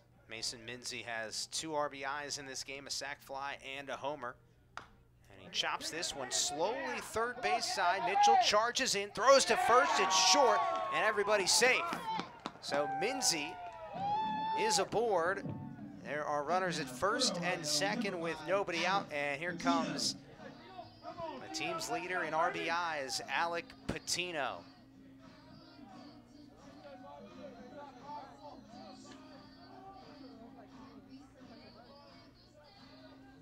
Now a left on left matchup as Patino, who really likes to hit at this park, had two homers last weekend in the same game against Bowling Green. We were there for that. And uh, now he's got an opportunity to do some more damage here in the bottom of the fifth. That's up and in for a ball. Yeah, both of those home runs, of course, over the right field wall made a really great impression to all the Bobcats fans getting to see him for the first time at home. But with the way that the wind has picked up, even though center field has been the hot spot for home runs, could see one that may go over right field. Oh yeah, that's exactly where Cole Williams hit the, the two he had yesterday over the fence. Two balls and no strikes. Oh, here's a bunt attempt. And Patino pulls it back. It is a called strike, two and one.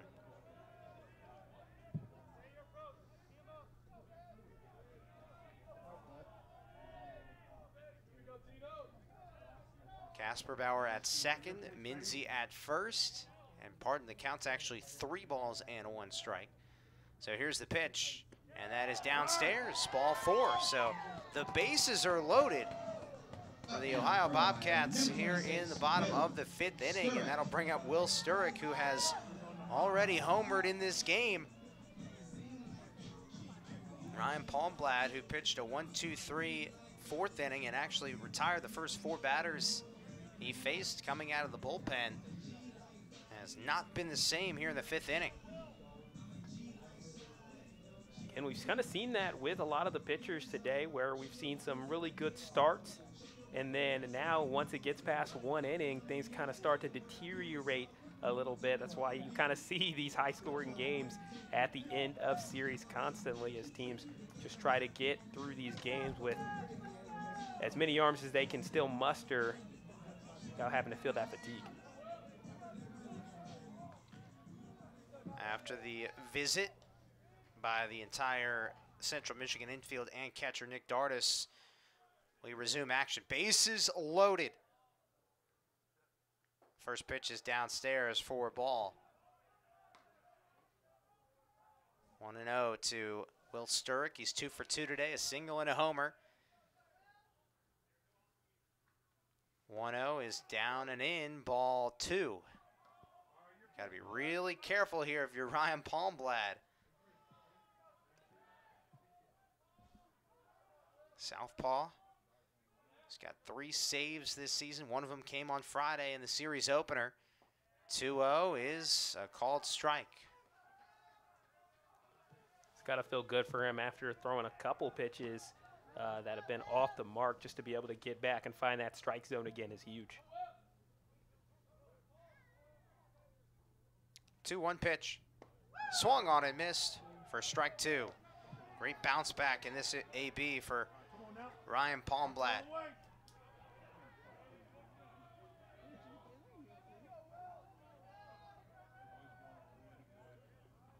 The 2 2 offering. And Sturrock checks his swing. He went around. Strike three. What a response from Ryan Palmblad. And a big first out here in the bottom of the fifth inning as Gideon Antle comes to the plate. Ohio left two runners on. And both were in scoring position the last uh, two innings ago in the third frame. You've got a golden opportunity here. Gideon Antle whiffs through the first offering nothing in one. Situational hitting coming back into play for the Cats.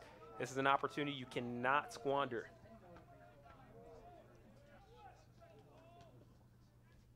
And Antle waves and misses. He's out in front of that pitch. Nothing in two.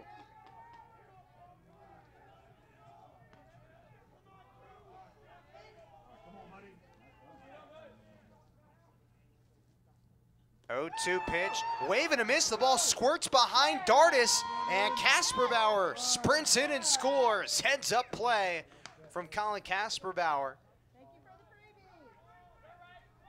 And Ohio is within two. Runners move up as well. Minzy to third, Patino to second. So, back-to-back strikeouts from the Bobcats in the batter's box, but they do get a critical run. And now, Cole Williams with an opportunity. Two runners in scoring position with two down. Looks like they have not adjusted the scoreboard. Yeah, they yet. haven't. Which is interesting. That one bounces and nicely blocked by Nick Dardis.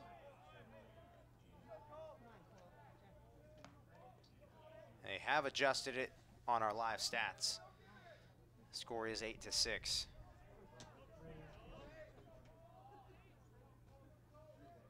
Here comes the 2-0. Settles outside. Three balls and no strikes. Cole Williams, a quiet day thus far. 0 for 2 after five RBIs and two homers yesterday.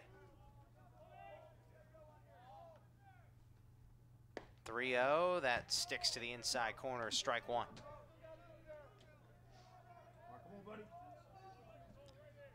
You would think Williams would get something in his wheelhouse on this pitch. And time called. Cole Williams called time and he was granted it. A little bit of time to think here. This is a situation where the Bobcats, it's one of those times where it's a swing moment in the game. It certainly is. And Ohio's been really good in this position today. Four for eight at the plate with two outs. As opposed to Central Michigan 0 for 5 at the plate with two outs.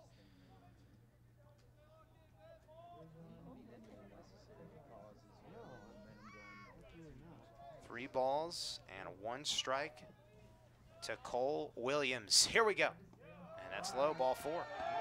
So Ryan Palmblad has walked three batters in this inning. Next up to bat, number 15. It's been a roller coaster a little It bit for really him. He's got a couple of strikeouts, but also a trio of walks and one hit given up. Now the question is if he can pick up an out here, it won't even be too bad looking back on his score sheet. Alex Finney swings and misses at the first pitch, strike one. Well, how about this? Ryan Palmblad came into this game with a 2.50 ERA. In 18 innings, he had only walked three batters, and he's walked three in this inning. But it might not come back to bite him as that backdoor curve hits the outer corner for strike two. Cross.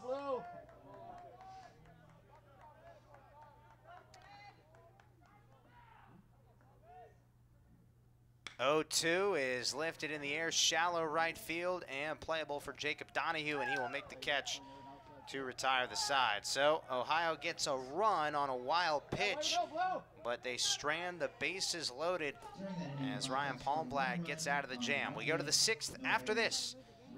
More, more baseball action coming your way on Bobcat TV.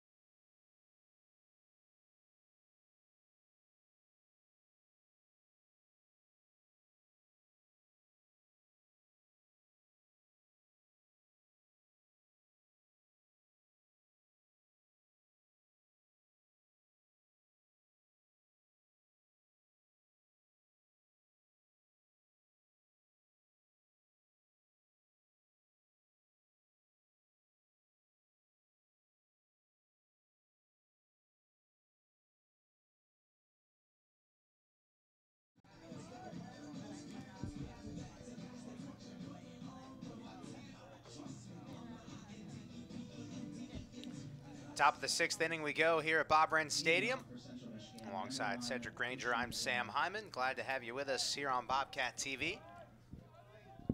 Hudson Bonkel remains out there on the mound for the Bobcats, and it'll be 9-1-2 due up for Central Michigan. First pitch fastball is in there for a called strike to Christian Mitchell, the sophomore third baseman who had a two-run double back in the third inning. Another curve. That offsets the fastball from Bonkel. Great mix of pitches. That That's that breaking ball that Craig Moore told us at the beginning of the season is very, very good. What a bounce back, though. Christian Mitchell laces it up the middle into center field, and that's a leadoff single for the sophomore third baseman. He went low, and Mitchell got it and put it into center field. Yeah, that's some really good adjustment with that at bat. With again having two strikes already there, kind of a risky swing there, but he saw a pitch that he liked, nice and low, able to get his bat down and almost kind of scooping up, Yeah. and was able to make it work. Back to the top of the order, Marquise Jackson has walked twice and scored both times.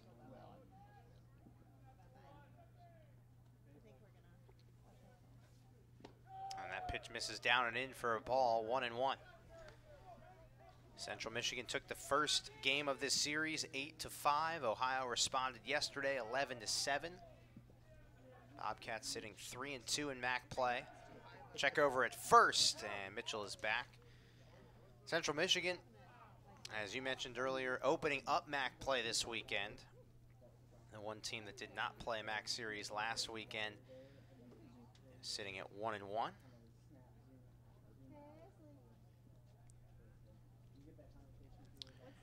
And time is called as Jordan Bischel, the head coach for Central Michigan, speaking to two of our umpires, appears to be frustrated a little bit at something, not quite sure what.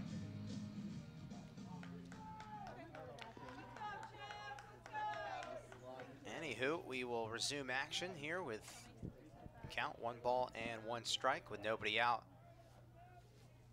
the top of the sixth inning. As that fastball hits the outside corner, strike two.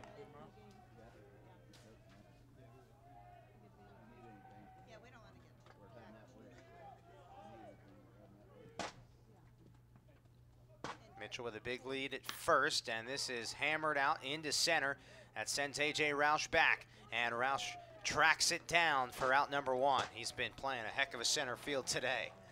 He's had to. There's been a lot of a lot of uh, pitches that have been sent out into play, especially around that center field, and he's really had to go and track some things on. I talked about earlier keeping the outfield on their toes. In the case of A.J. Roush, he's had to be off his toes a little bit to go and make some of those diving catches. Uh, but good work by him so far today. He's had to been perfect. Robbie Morgan, the fourth, stands in. Another throw over to first. Mitchell is back. Robbie Morgan, the fourth, homered. His last time up. Breaking ball, whips outside. 1 0.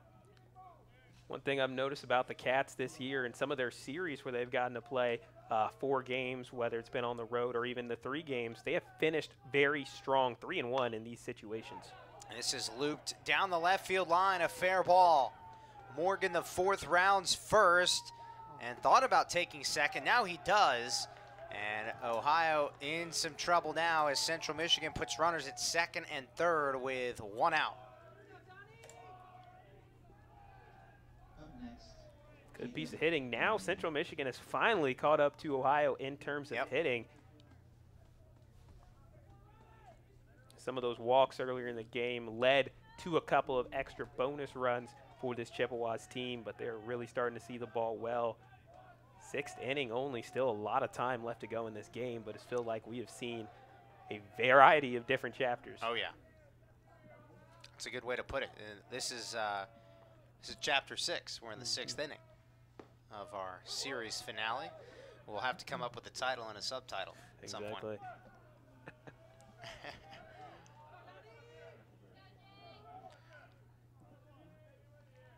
Jacob Donahue at the plate for Central Michigan. The entire infield is in.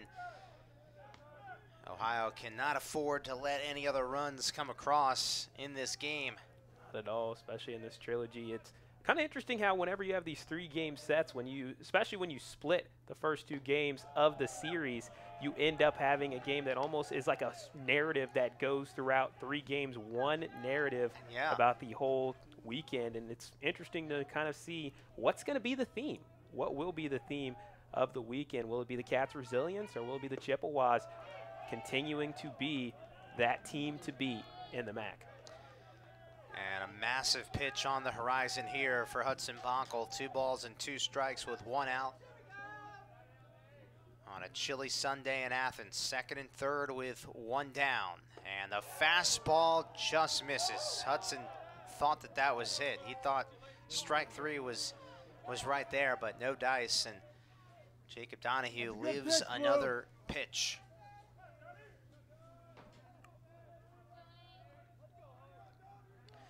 Three balls and two strikes. The pitch chopped foul.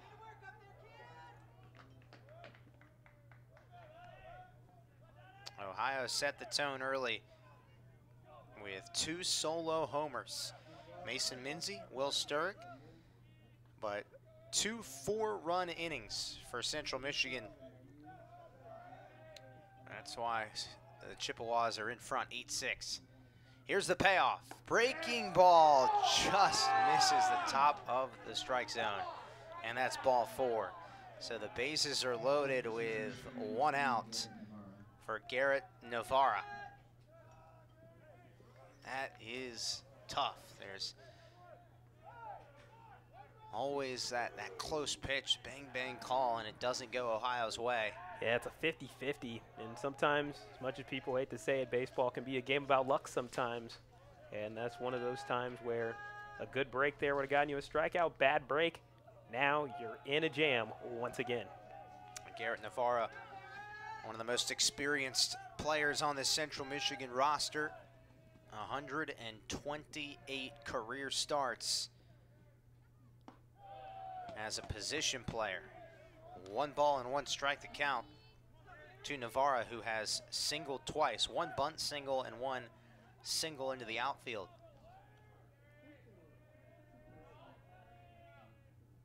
Bonkel with that nasty breaking ball. This is zapped in the air to shallow center field. A.J. Roush went back, had to recover, makes the catch. Another RBI for Garrett Navarra, this time a sacrifice fly. And Central Michigan increases its lead 9 to 6. There are two down here in the sixth inning. Now batting for Central Michigan, Luke Sefcik.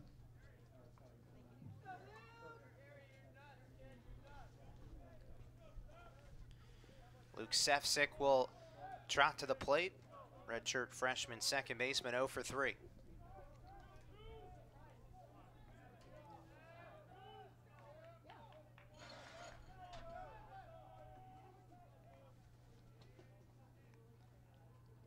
Hudson Bonkel delivers, and he's really working that curveball in this in this inning. It is, it's nasty. It's got a great arc to it.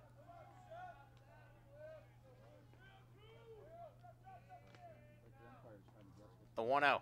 And the fastball zips upstairs for ball two. Two balls and no strikes to Luke Sefcik. Go, Hudson! Go, honey.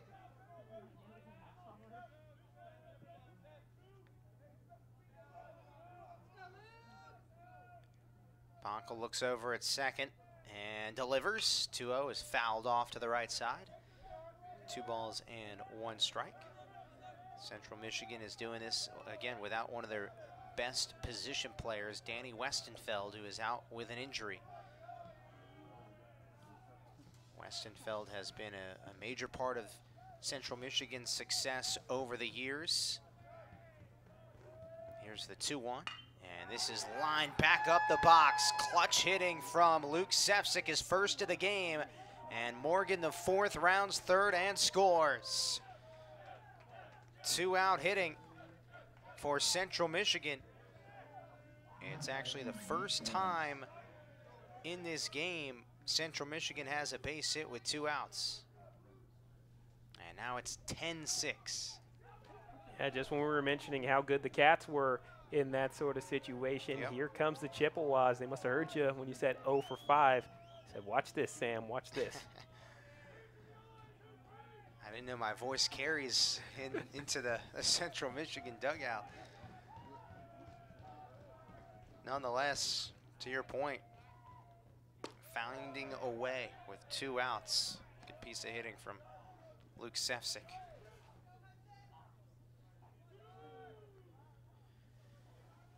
Nick Dardis at the plate. One for three with an RBI double. Bonkel deals. And the 0-1 misses outside. One ball and one strike. In the next half inning, we'll have a scoreboard update around the Mid-American Conference. Cedric will give you the, the breakdown on that. Kent State is, you know, they are rocking and rolling if you're paying attention to the league. As that misses low, two balls and one strike. Kent State is 14 and 4 coming into today, 3 and 0 in the MAC. They've won 12 straight games. So stay tuned for a MAC scoreboard update on the other side. The 2 1. And a fastball is clobbered in the air to left. Gideon Antle waits patiently and he'll make the catch to retire the side. But Central Michigan tacks on two more runs, 10 to 6. The Chippewas, the defending MAC tournament champions, looking to win this series. Right now, it's looking good for the team from Mount Pleasant. We'll be back on Bobcat TV. Yep, there it is.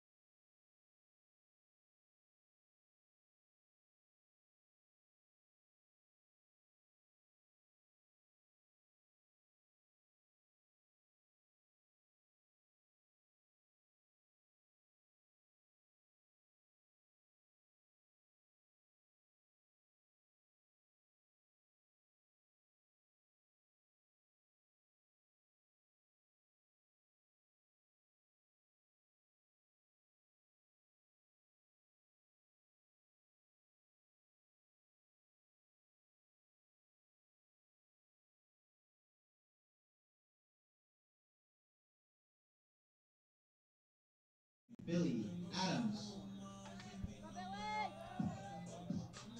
And we are back here at Bob Wren Stadium for the bottom of the sixth inning. Billy Adams leads off for Ohio. And back with Cedric Granger, I'm Sam Hyman. Adams takes a called strike, nothing in one. As Cedric, we look around the, the Mid-American Conference at some other games going on. What's what's catching your eye? I know one score that's caught my eye. Yeah, things are getting interesting with that Ball State and Toledo matchup. They have a doubleheader today. First of all, the Cardinals, they crushed the Rockets 14 to 2 on Friday and have an opportunity to try to defend home turf in Muncie. And they're down 16 to 10 live right now in the ninth inning. Pretty great game going on there with a lot of scoring. Nothing new if you've been a fan of Mac basket, Mac baseball for quite a while. Also, some other things to note: Kent State they swept Canisius on their Friday doubleheader, 17 to four and 21 to three. I mean, talk about a team that is on fire right now, Sam. 12 straight wins. They did not make the MAC tournament last year, and they have an opportunity to do so this year if they keep their play up like that. Other scores going on right now baseball, Bowling Green, and Akron. Bowling Green won the first couple of that series, and Akron up 3 to 2. Yeah, that game going on right now. That that last score that you mentioned, three to two in the fifth inning. The Zips lead the Bowling Green Falcons, but Yeah, correction. Akron won the first two of that doubleheader. gotcha. Well, yeah, Kent State still has to play one more game this weekend. Actually, tomorrow they're not playing their final game of the series against Canisius today. As Billy Adams charges this one in the air to right field, and playable for Jacob Donahue. That is out number one in the bottom of the sixth. Actually, the next MAC series for Central Michigan will be interesting. Chippewas host Kent State next weekend for a three-game set. That's after Kent State has a midweek against Pittsburgh on the road, so should be an interesting series for the Golden Flashes and the Chippewas. Meanwhile, Ohio will play that midweek game against Morehead State on Tuesday, and then they'll play at Northern Illinois as A.J. Roush swings and misses for strike two.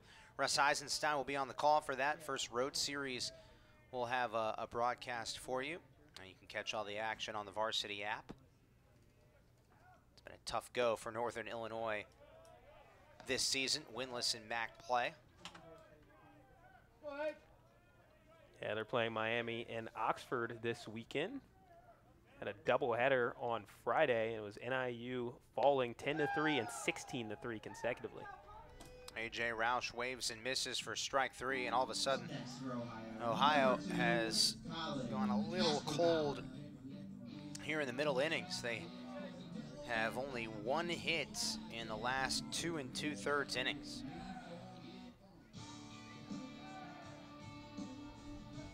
Colin Kasperbauer comes to the plate. A walk, a sack bunt, and a flyout for Kasperbauer today. That's low for ball one.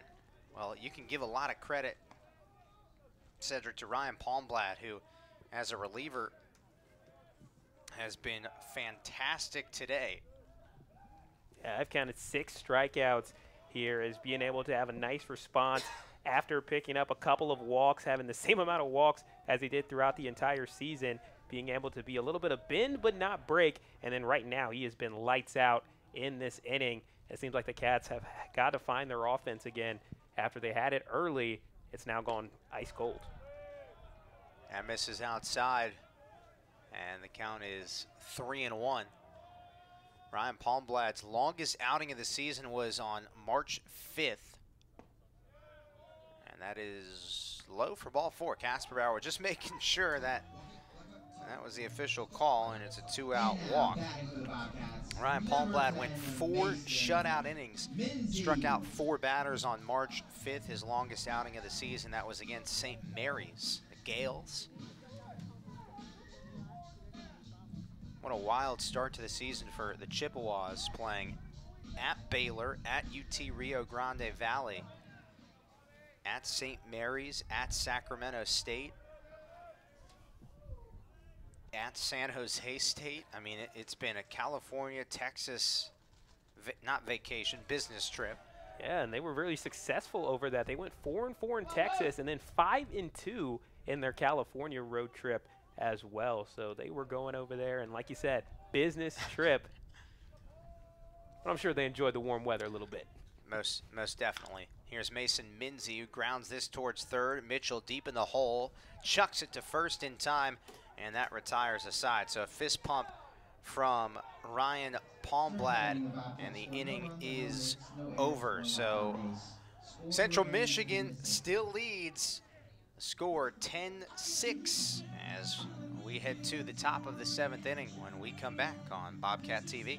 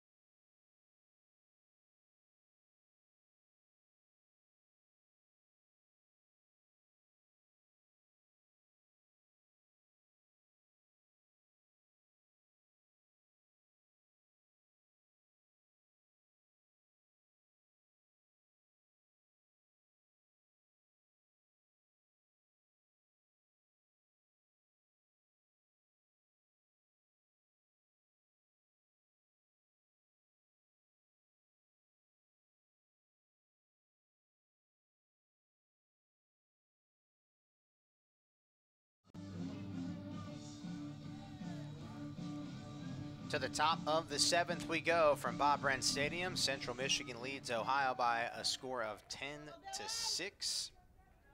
Back with Cedric Granger, I'm Sam Hyman. Thanks for being with us on this chilly Sunday in Athens, Ohio. New pitcher on the mound for Ohio. It's the Southpaw Murray State transfer, Dylan Masters, who fires a first pitch fastball in there for strike one. Masters 6'3", 210, sophomore from New Albany, Ohio. And he will make his sixth appearance of the season out of the bullpen. He appeared earlier in this series and threw two-thirds of an inning with a strikeout on Friday. And New Albany, one of the top high schools for baseball in the Columbus area, also my hometown. So I, I was want to give a shout out to New Albany. Uh, but they've been very competitive, have sent a lot of players to play at the next level in college, have a couple of pitchers. Uh, one plays at Purdue Fort Wayne. Uh, they've had a couple players go and play some SEC baseball at Auburn as well. What do you make of the, the New Albany area, just in general? Should I pay a visit? Yes, you should. It's absolutely gorgeous up there. Uh, again, if you like nice column architecture, some white picket fences, they do have a good bit of that up All there right. in New Albany. All right, all right. Breaking ball, and Simpson did not go around. So Justin Simpson continues to battle here with two strikes. Two and two the count to Central Michigan's number seven hitter. And that misses way outside, so full count.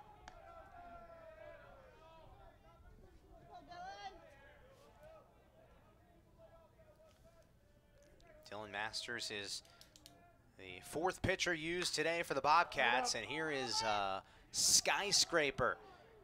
Behind the second base back, Billy Adams reaches up and makes the catch for out number one in the top of the seventh inning. That would have been a lot harder to catch yesterday. We had wind gusts of 15, 20 miles an hour. There were flurries all over the place. It was, it was wild, and uh, that a little bit easier today for Billy Adams. Yeah, but the sun did peek out a little bit. It hasn't been very sunny throughout this day, mostly clouds. Sometimes the sun can get in your eye when trying to go and make that catch, so way to track it by Adams. Adams rocking the eye black as well to shade the sun. Jake Brill at the plate, junior center fielder. Walked, reached on a fielder's choice, and grounded out today.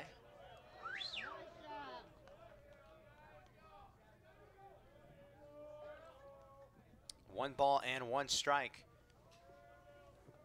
to Jake Brill, his first start of the series. And now it's one and two as Masters looks to rear back here and respond. Your pitch bud.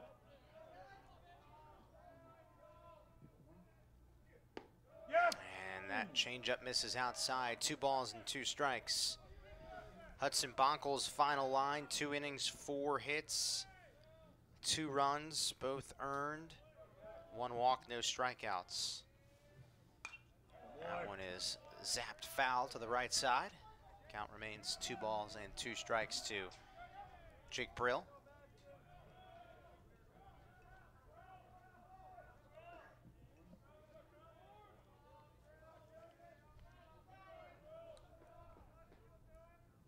Two-two pitch is lifted in the air to shallow right field. Will Sturrock waits, waits, and makes the catch. Two up, two down. And the top of the seventh inning. Yeah, Masters already pitched the same amount of time that he had in game number one, where he pitched two third of an inning, and now he's already got up to that. Gave up no runs and had a strikeout in that time, and right now been very effective so far.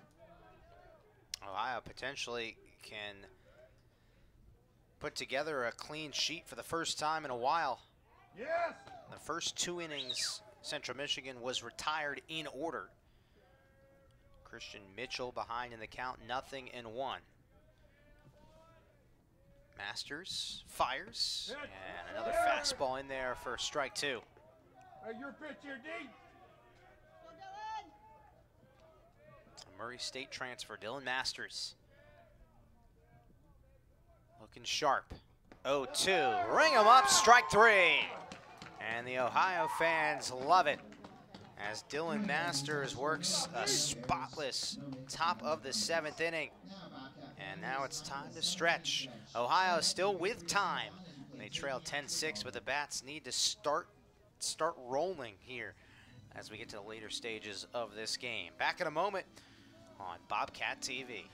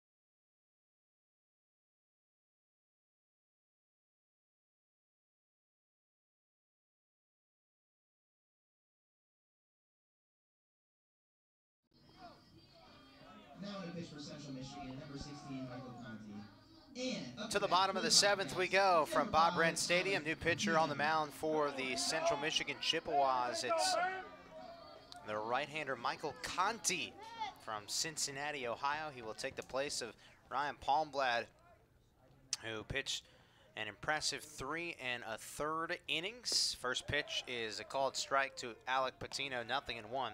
Three and a third innings for Ryan Palmblad, just one hit allowed, one run. The only issue was the control. He walked four batters, and he struck out six. New pitcher is, like we mentioned, Michael Conti from Cincinnati, Ohio. He makes his sixth appearance of the season. It's been a rocky start so far out of the bullpen for the righty. As Patino drills this on the ground towards short, tough play. Simpson behind the second base bag, and he throws a rocket over there for out number one. What a play there by Simpson. Being able to, again, another time when we're seeing the defense just having a pitcher's back. And that is something that is just as important as the pitchers being able to pick up their strikeouts or be able to force a couple of pop flies is having the defense make a play for you. And we saw that right there. uh, crucial out to start an inning, especially when you have a team like Ohio that's trying to come from behind. As that first pitch fastball hits the outside corner for strike one. Michael Conti making his fifth appearance, like I mentioned, nine innings of work, six strikeouts, seven walks. So the control has been a bit shaky so far this season. He's 6'3", 205 pounds out of Walnut Hills High School in Cincinnati. 1-1 is blasted up in the air, but playable. Shallow center field, Jake Brill will make the catch, and there are two away.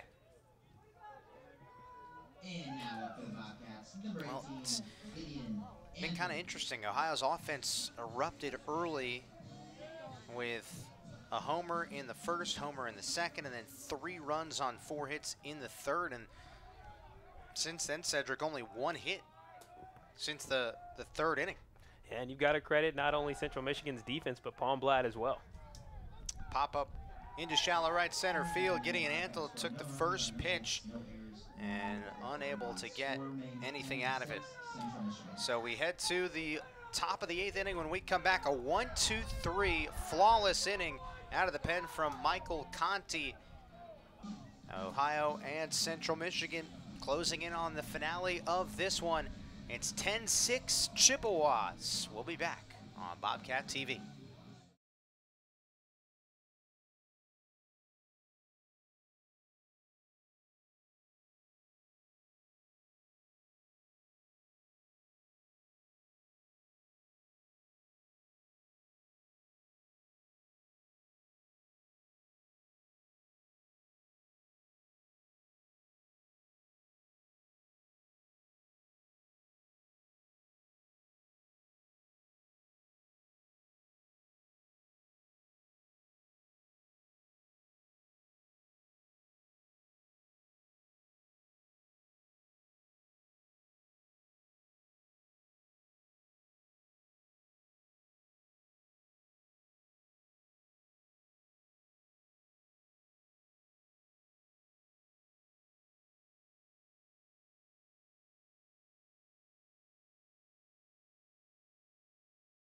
Michigan, Marquise Jackson. Top of the order for Central Michigan as we start the top of the eighth inning. Back with Cedric Granger, I'm Sam Hyman. Thanks for being with us on Bobcat TV. Marquise Jackson, the junior from Chi-Town, Chicago, will step into the lefty batter's box. He is 0 for 2 today with two walks and two runs scored, and he watches the first pitch from Dylan Masters connect on the outside corner for strike one.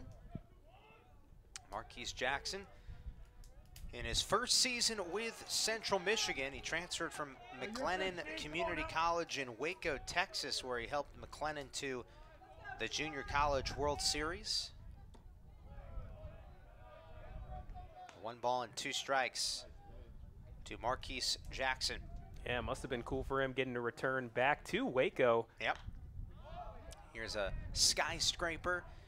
First base side foul ground. Alec Patino navigates and makes the play for out number one. Yeah, you're right. Uh, Marquise Jackson in Central Michigan got to open up the season against the Baylor Bears. Not McLennan, but McLennan is in Waco.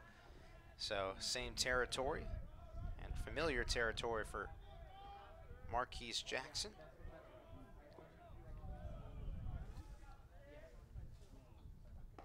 Robbie Morgan the fourth takes a strike, nothing in one. He's been busy. A walk, a homer, and a single. And that just misses outside. One ball and one strike.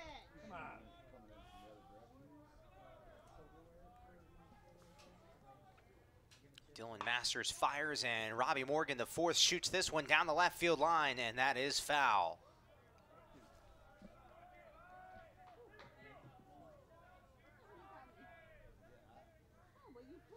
Hey, Stinger bees. Hey, that didn't feel good. 10-6 lead for Central Michigan here in the top of the eighth inning. And the fastball rises high. Two balls and two strikes.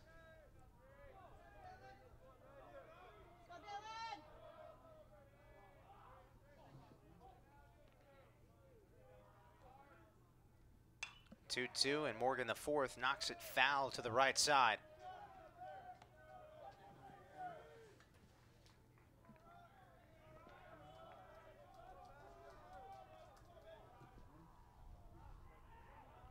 Pitch.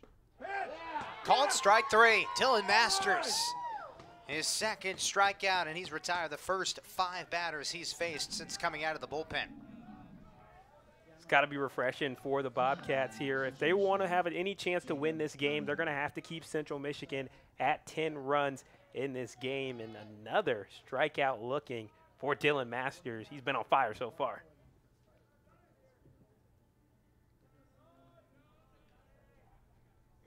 Pitch. First pitch is in there for a strike to Jacob Donahue.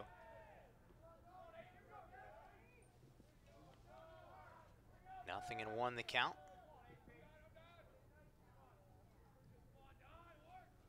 Masters delivers, and this is crushed foul down the right field line. Again. Here we go.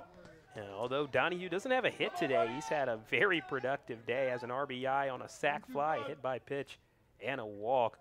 So being able to contribute. Feels like, yeah, this this Central Michigan offense really hasn't missed a beat from last season, where they lost a couple of guys who got drafted Yes. as that misses just outside. Jacob Marcy was taken in the sixth round last year by the San Diego Padres. And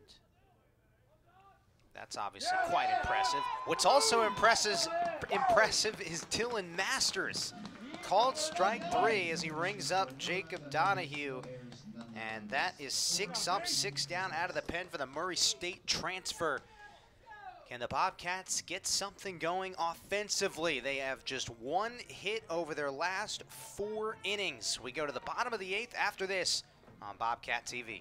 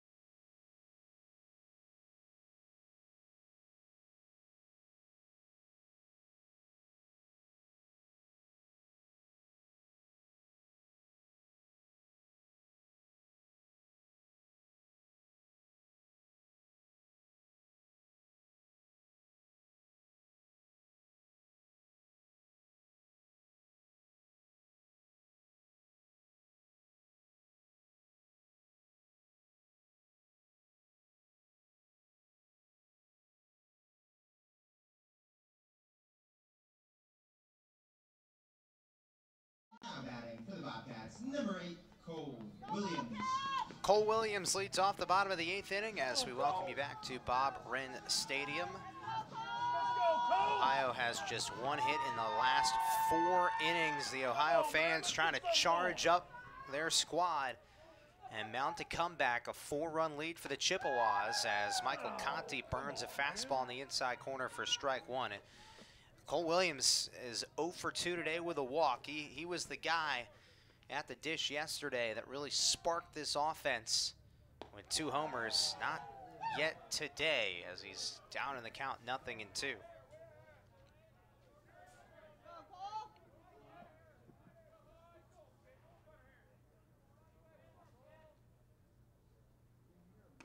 A fastball misses outside, one ball and two strikes.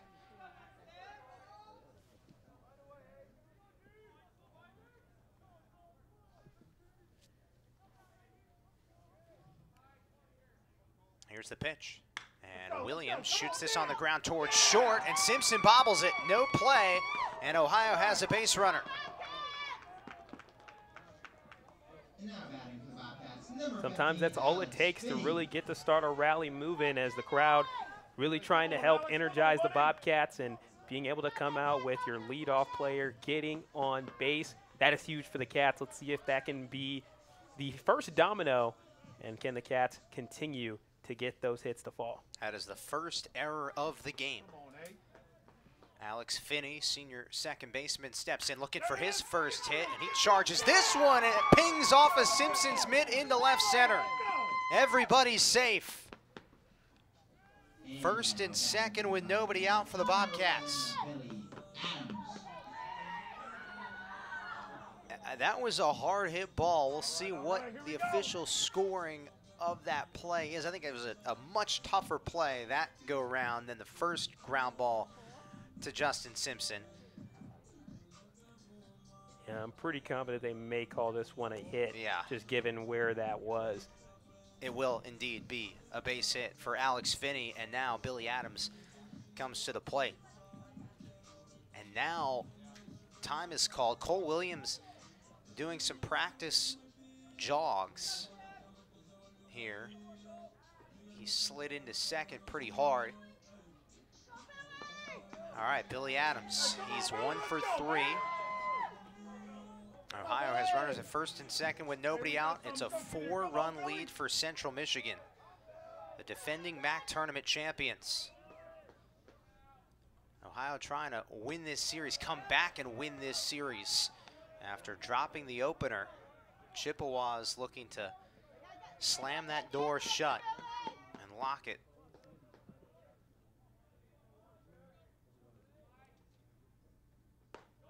And that is just on the outside corner, strike two to Billy Adams. Are you kidding me? Michael Conti, who's been a little rocky this season out of the bullpen, comes in with an 8 ERA. Has been impressive today, and he locks up Billy Adams on the outside corner, called strike three. Heck of a pitch from Conti. And now AJ Roush will step in. Have just been three of the best pitches he's thrown all season that time around. Especially in an 0-2 situation, you might throw something a little outside to get Adams to potentially chase after it, but that one right down line for the strike. And There's a slider right down the middle for a called strike to AJ Roush, who is 0 for 3 today with a walk. Team's leader in doubles with eight. That leads the MAC as well. And that's strike two.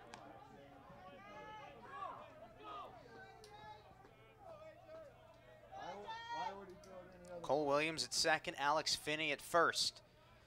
Prime time opportunity for the Bobcats. And Roush well tardy on the fastball upstairs, strike three. And so two down in the bottom of the eighth inning. Michael Conti has responded after the two first two hitters reached. Now it's up to Colin Kasperbauer.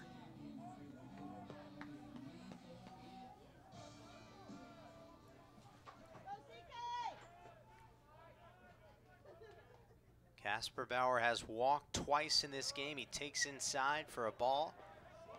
1 0. Ohio is 4 for 11 in the game with two outs. That's a 364 average. 1 0 is hit high in the air, foul, and into the Ohio bullpen. One ball and one strike.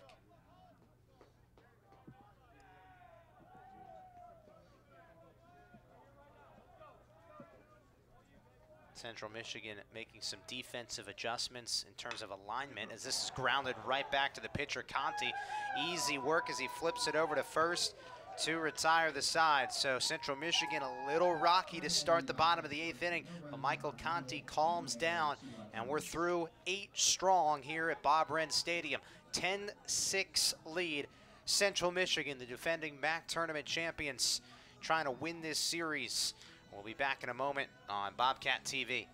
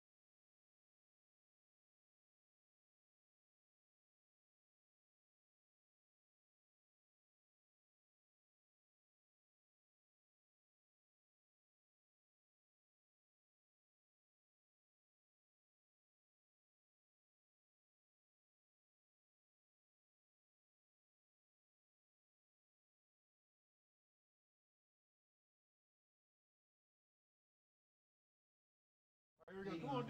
For Central Michigan, Garrett Navarra. Top of the ninth inning from Bob go. Stadium. Central Michigan leads 10 to 6, trying to win this series. Garrett Navarra steps in for Central Michigan.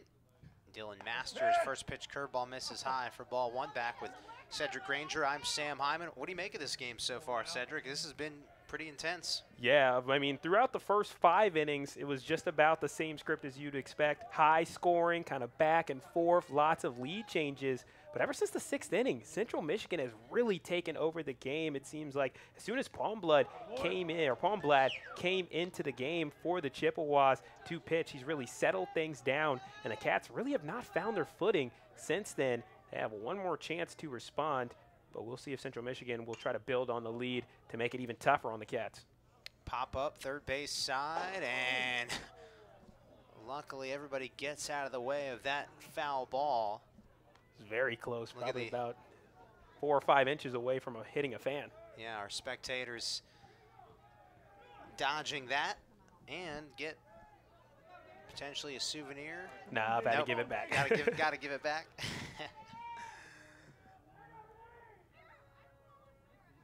two two, wave and a miss, strike three. Masters fired up after that punch out. He's got four strikeouts out of the bullpen. He has sent down the first seven batters he's faced in this game. Dylan Masters, the Murray St- State transfer.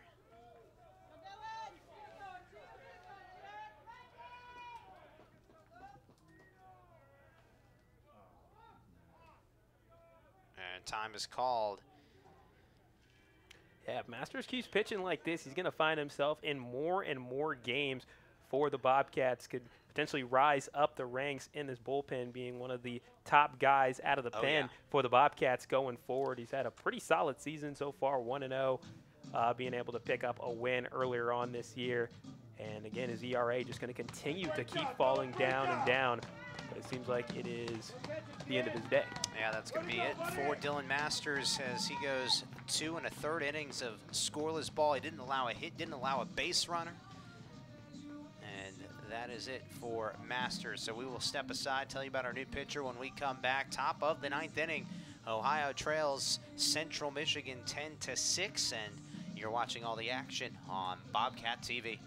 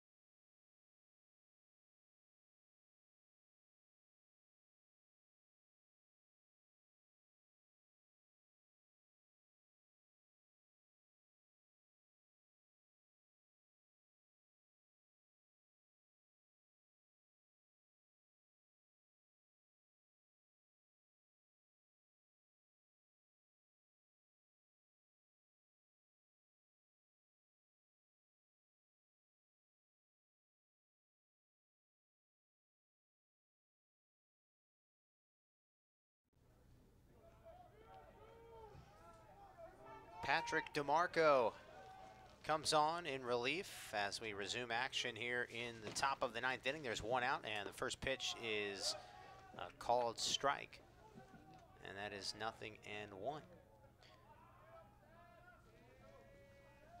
So Dylan Masters, two and a third innings of flawless baseball out of the bullpen as DeMarco looks to pick up right where Masters left off against this impressive Central Michigan team that has not missed a beat offensively so far this season for the most part.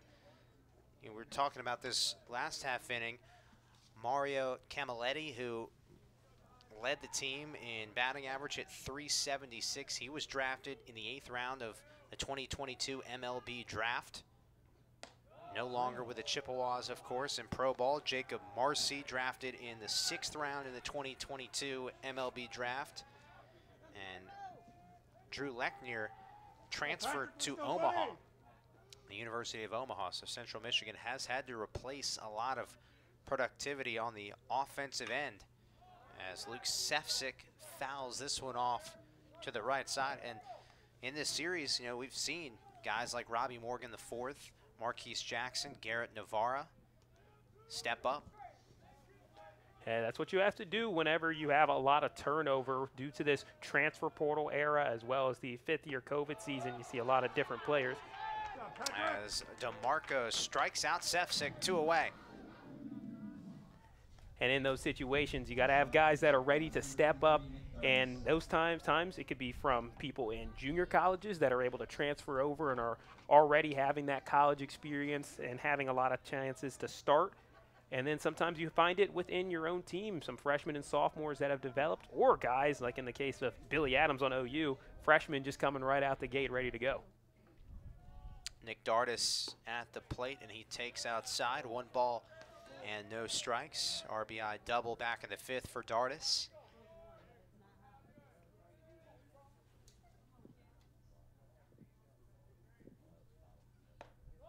That fastball misses inside for a ball.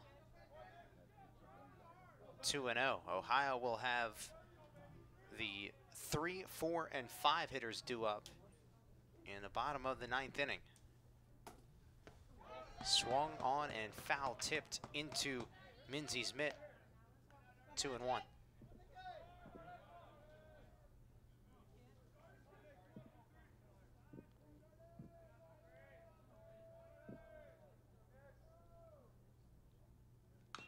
There's a ground ball into the Ohio dugout.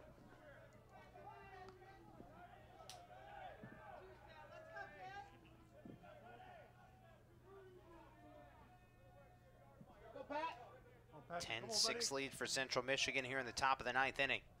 Small update Ball State, who was down 16 to 10 in the ninth, they have tied it up and have forced a 10th inning. It's 16 to 16. Oh, wow.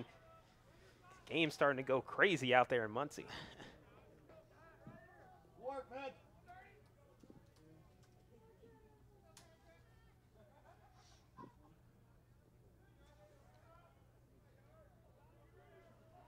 The pitch. And this is pulled foul down the left field line. Ball State, the preseason favorites in the Mid-American Conference, ahead of Central Michigan, picked second, and Kent State picked third. Cardinals off to an 11 and 6 start this season, three and one in league play. An impressive team, Ball State. They were actually the number one seed in the MAC regular season. Despite Central Michigan winning it, Ball State was the top team by seed. Actually, was the Cats' first opponent in that double elimination MAC tournament. And then Ohio lost to Toledo in the following game. The Chippewas, fun fact about them, they were able to eliminate Ball State all on their own. The two losses that Ball State had to get out of there coming from the Chippewas. Come on, Pat. Let's stop on him, kid.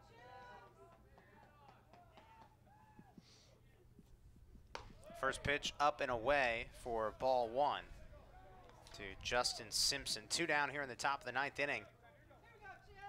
Ohio trying to keep this deficit at four. Nothing worse. Outside, 2 and oh. 0. Come on, Patrick. Come on, buddy. Patrick DeMarco with a two ball, no strike count on the mound. And that's up and away, 3 0. I'm getting to see Justin Simpson, who's a switch hitter, as the Bobcats kind of switching arms here in this inning. Dylan Masters, a lefty arm for this team, and now switching it up to a righty arm in DeMarco. And that is on the outside corner for a strike.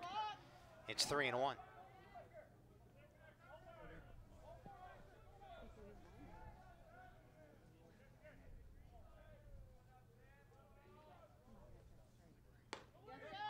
Three and two. DeMarco paints the corner and a chance to bounce back after starting this AB three balls and no strikes. On.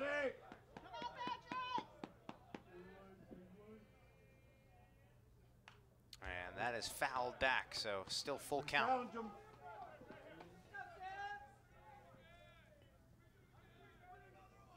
Ohio with six runs on eight hits, no errors. Central Michigan, 10 runs on eight hits, one error. Ohio has left eight runners on base today. The payoff. And it's fisted up in the air, shallow left center field. That blooper drops in. Simpson is aboard, and there are runners at first and third with two outs. All right, here we go. Come on now. Like you said, Sam, time and time again, no lead is safe. So if you're the Chippewas, you want to add on to this lead and as many runs added as you can. Because if we look at that, um, the other game of Ball State and Toledo, 16 to 10, it was a six-run deficit for Ball State, and it's all evaporated in the blink of an eye. So if you're the Chippewas, just kind of seeing that score, you want to make sure you have as much cushion as humanly possible. Tim Brown making another walk out to the mound. Yeah, that, that game, craziness in Muncie. 16-16 in the 10th. Meanwhile, here, Ohio trying to send this into the bottom of the ninth inning, only down by four runs. 10-6 lead. Series finale from Bob Wren Stadium. Game one, Ohio fell eight to five. They got down early, seven to one and could not come back. And then in game two, the Bobcats won 11 to 7. Eight of their nine hitters recorded a hit. Jake Brill stands in. Here's a look at the head coach for Central Michigan. Jordan Bischel has to be pleased with the way his team has performed today after the loss yesterday. Took over this program in June of 2018 and has been absolutely fantastic. Steal down to second goes Justin Simpson with no throw. Second and third, two outs. Very wise there. You don't want to open up any opportunities at home plate.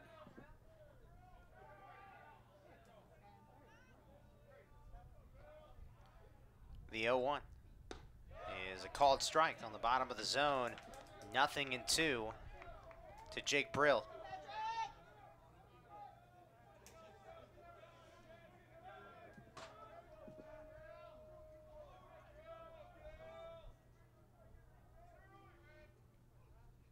O two pitch is a breaking ball that misses down and in ball one.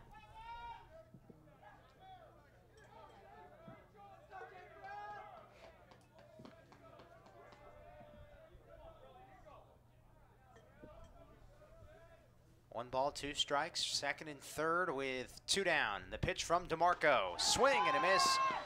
And that's strike three. So Central Michigan strands a pair, and we go to the bottom of the ninth inning. Last chance for the Ohio Bobcats, down 10-6 in the series finale. Come back and join us for the final frame on Bobcat TV.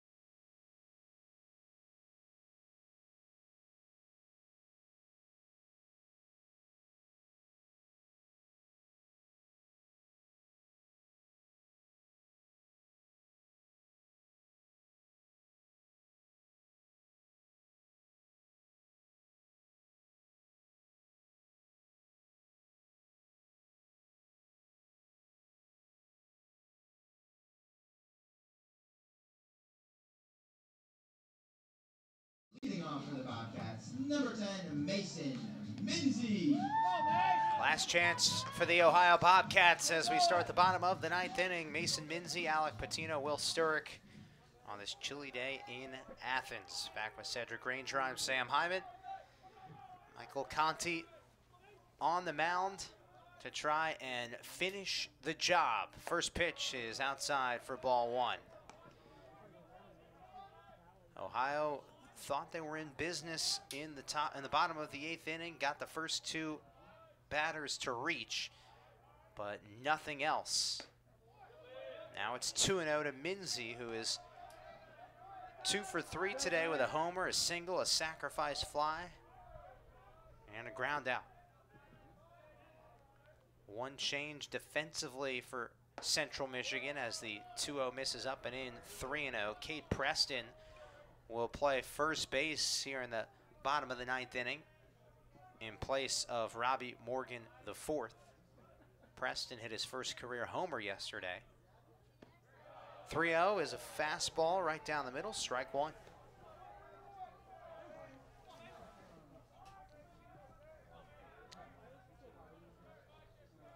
Bobcats need base runners and need them fast. 3-1 is grounded First base side, Preston bobbles it. He just checked into the game, and he makes a miscue.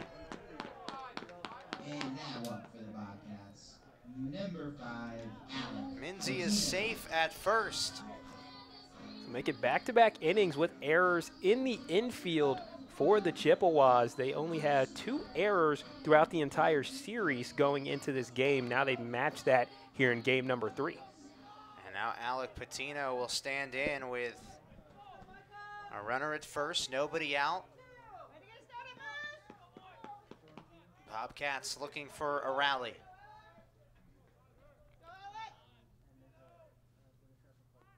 And that is upstairs. Ball one. Patino pulled the bat back in time.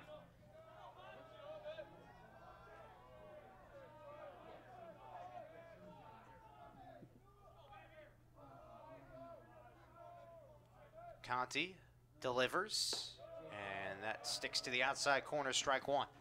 One ball and one strike to Alec Patino, who singled in the third and scored, also walked today. 1 1.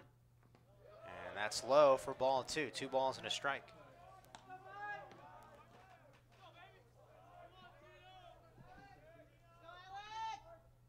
Ohio has played much better defense today. After the first two games, they committed three errors in the first game and two yesterday, zero today. Central Michigan has committed two errors today. The only thing for Ohio is their offense just went pretty quiet, really quiet after the third inning. Patino grounds this one sharply to short. Simpson flips it to second for one. Turn back to first is not in time to get Patino. Minzy is out at second. And that is the first out of the inning. Will Sturrock comes to the plate. Not the worst thing in the world, no double play ball, but you obviously you need base runners. You're down by four runs. Yeah, you needed something. I know the Cats, they've been victims to double play balls a couple of times this season, 14, which leads the MAC. Uh, but having your leadoff runner get clipped at second does not help the case. Sturrock takes, and that misses inside ball one.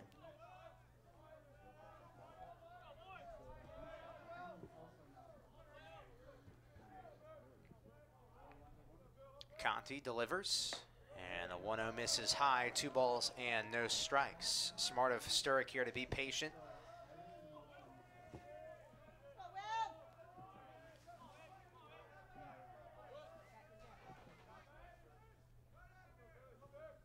The 2 0, and Sturrock stings it foul to the right side. Two balls and one strike.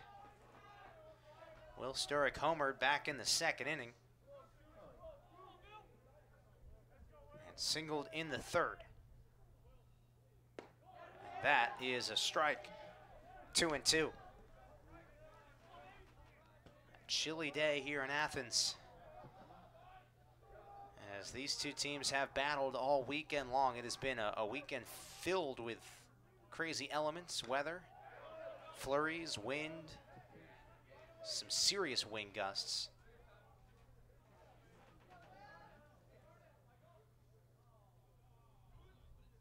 Conti has to tie a shoe. Wonder if he does two bunny loops and then, you know, ties the knot or does one at a time.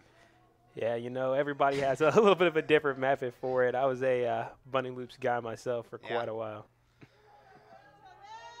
Now I hate tying my shoe. I'm lazy.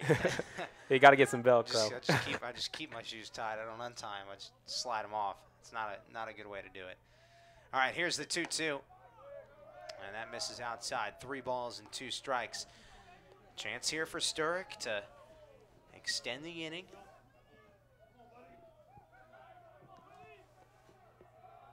Patino at first, and the payoff. Swung on and missed for strike three. And that is out number two. So Central Michigan is one out away from winning this series. Gideon Antle stands in their way as he makes his way into the righty batter's box. And the strikeouts really starting to add up now against the Bobcats. Uh, count 11 total from this pitching staff.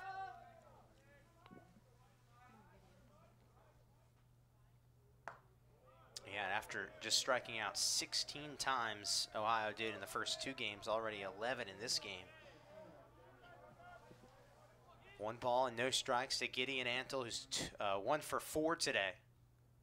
Antle pops this one up. This should do it. On the infield, Luke Sefcik makes the catch, and that's the game. Central Michigan wins it 10 to 6 over Ohio and takes this series 2 out of 3. The Chippewas improved to 11 and 8 overall and 2 and 1 in the Mid-American Conference. Ohio falls to 5 and 12 and 3 and 3 in the MAC. Cedric, before we sign off, quickly your final thoughts on what was uh, a competitive series and today unfortunately the Ohio Bats just went quiet down the stretch. Yeah, well, Sam, we go back to what we started with, which was pitching and who was going to come out, who was going to make the most plays defensively, and who was going to be able to shut down the opponent's offense. And Central Michigan, they were able to do so, not yielding anything. From the sixth inning to the ninth inning, they got stingy. And thanks to pitchers such as Palmblad and Conti, they were able to shut the door on not only the game, but the series. Ryan Palmblad picks up the win. Michael Conti earns the save. He pitched three shutout innings out of the bullpen. All right, that does it for us, for our great crew, our director, Jordan Bowes, my broadcast partner, Cedric Granger. I'm Sam Hyman, and our great crew on hand. We say so long from Bob Wren Stadium. Once again, your final score Central Michigan 10, Ohio 6. A reminder the Bobcats will be back in action at Morehead State on Tuesday, and then our first road broadcast will be out in DeKalb, Illinois, where Northern Illinois hosts Ohio. Russ Eisenstein will be on the call. You can catch all the action next weekend on the Varsity app as the Bobcats hit the road this coming week. Have a great rest of your Sunday afternoon, everybody, and thanks for watching on Bobcat TV.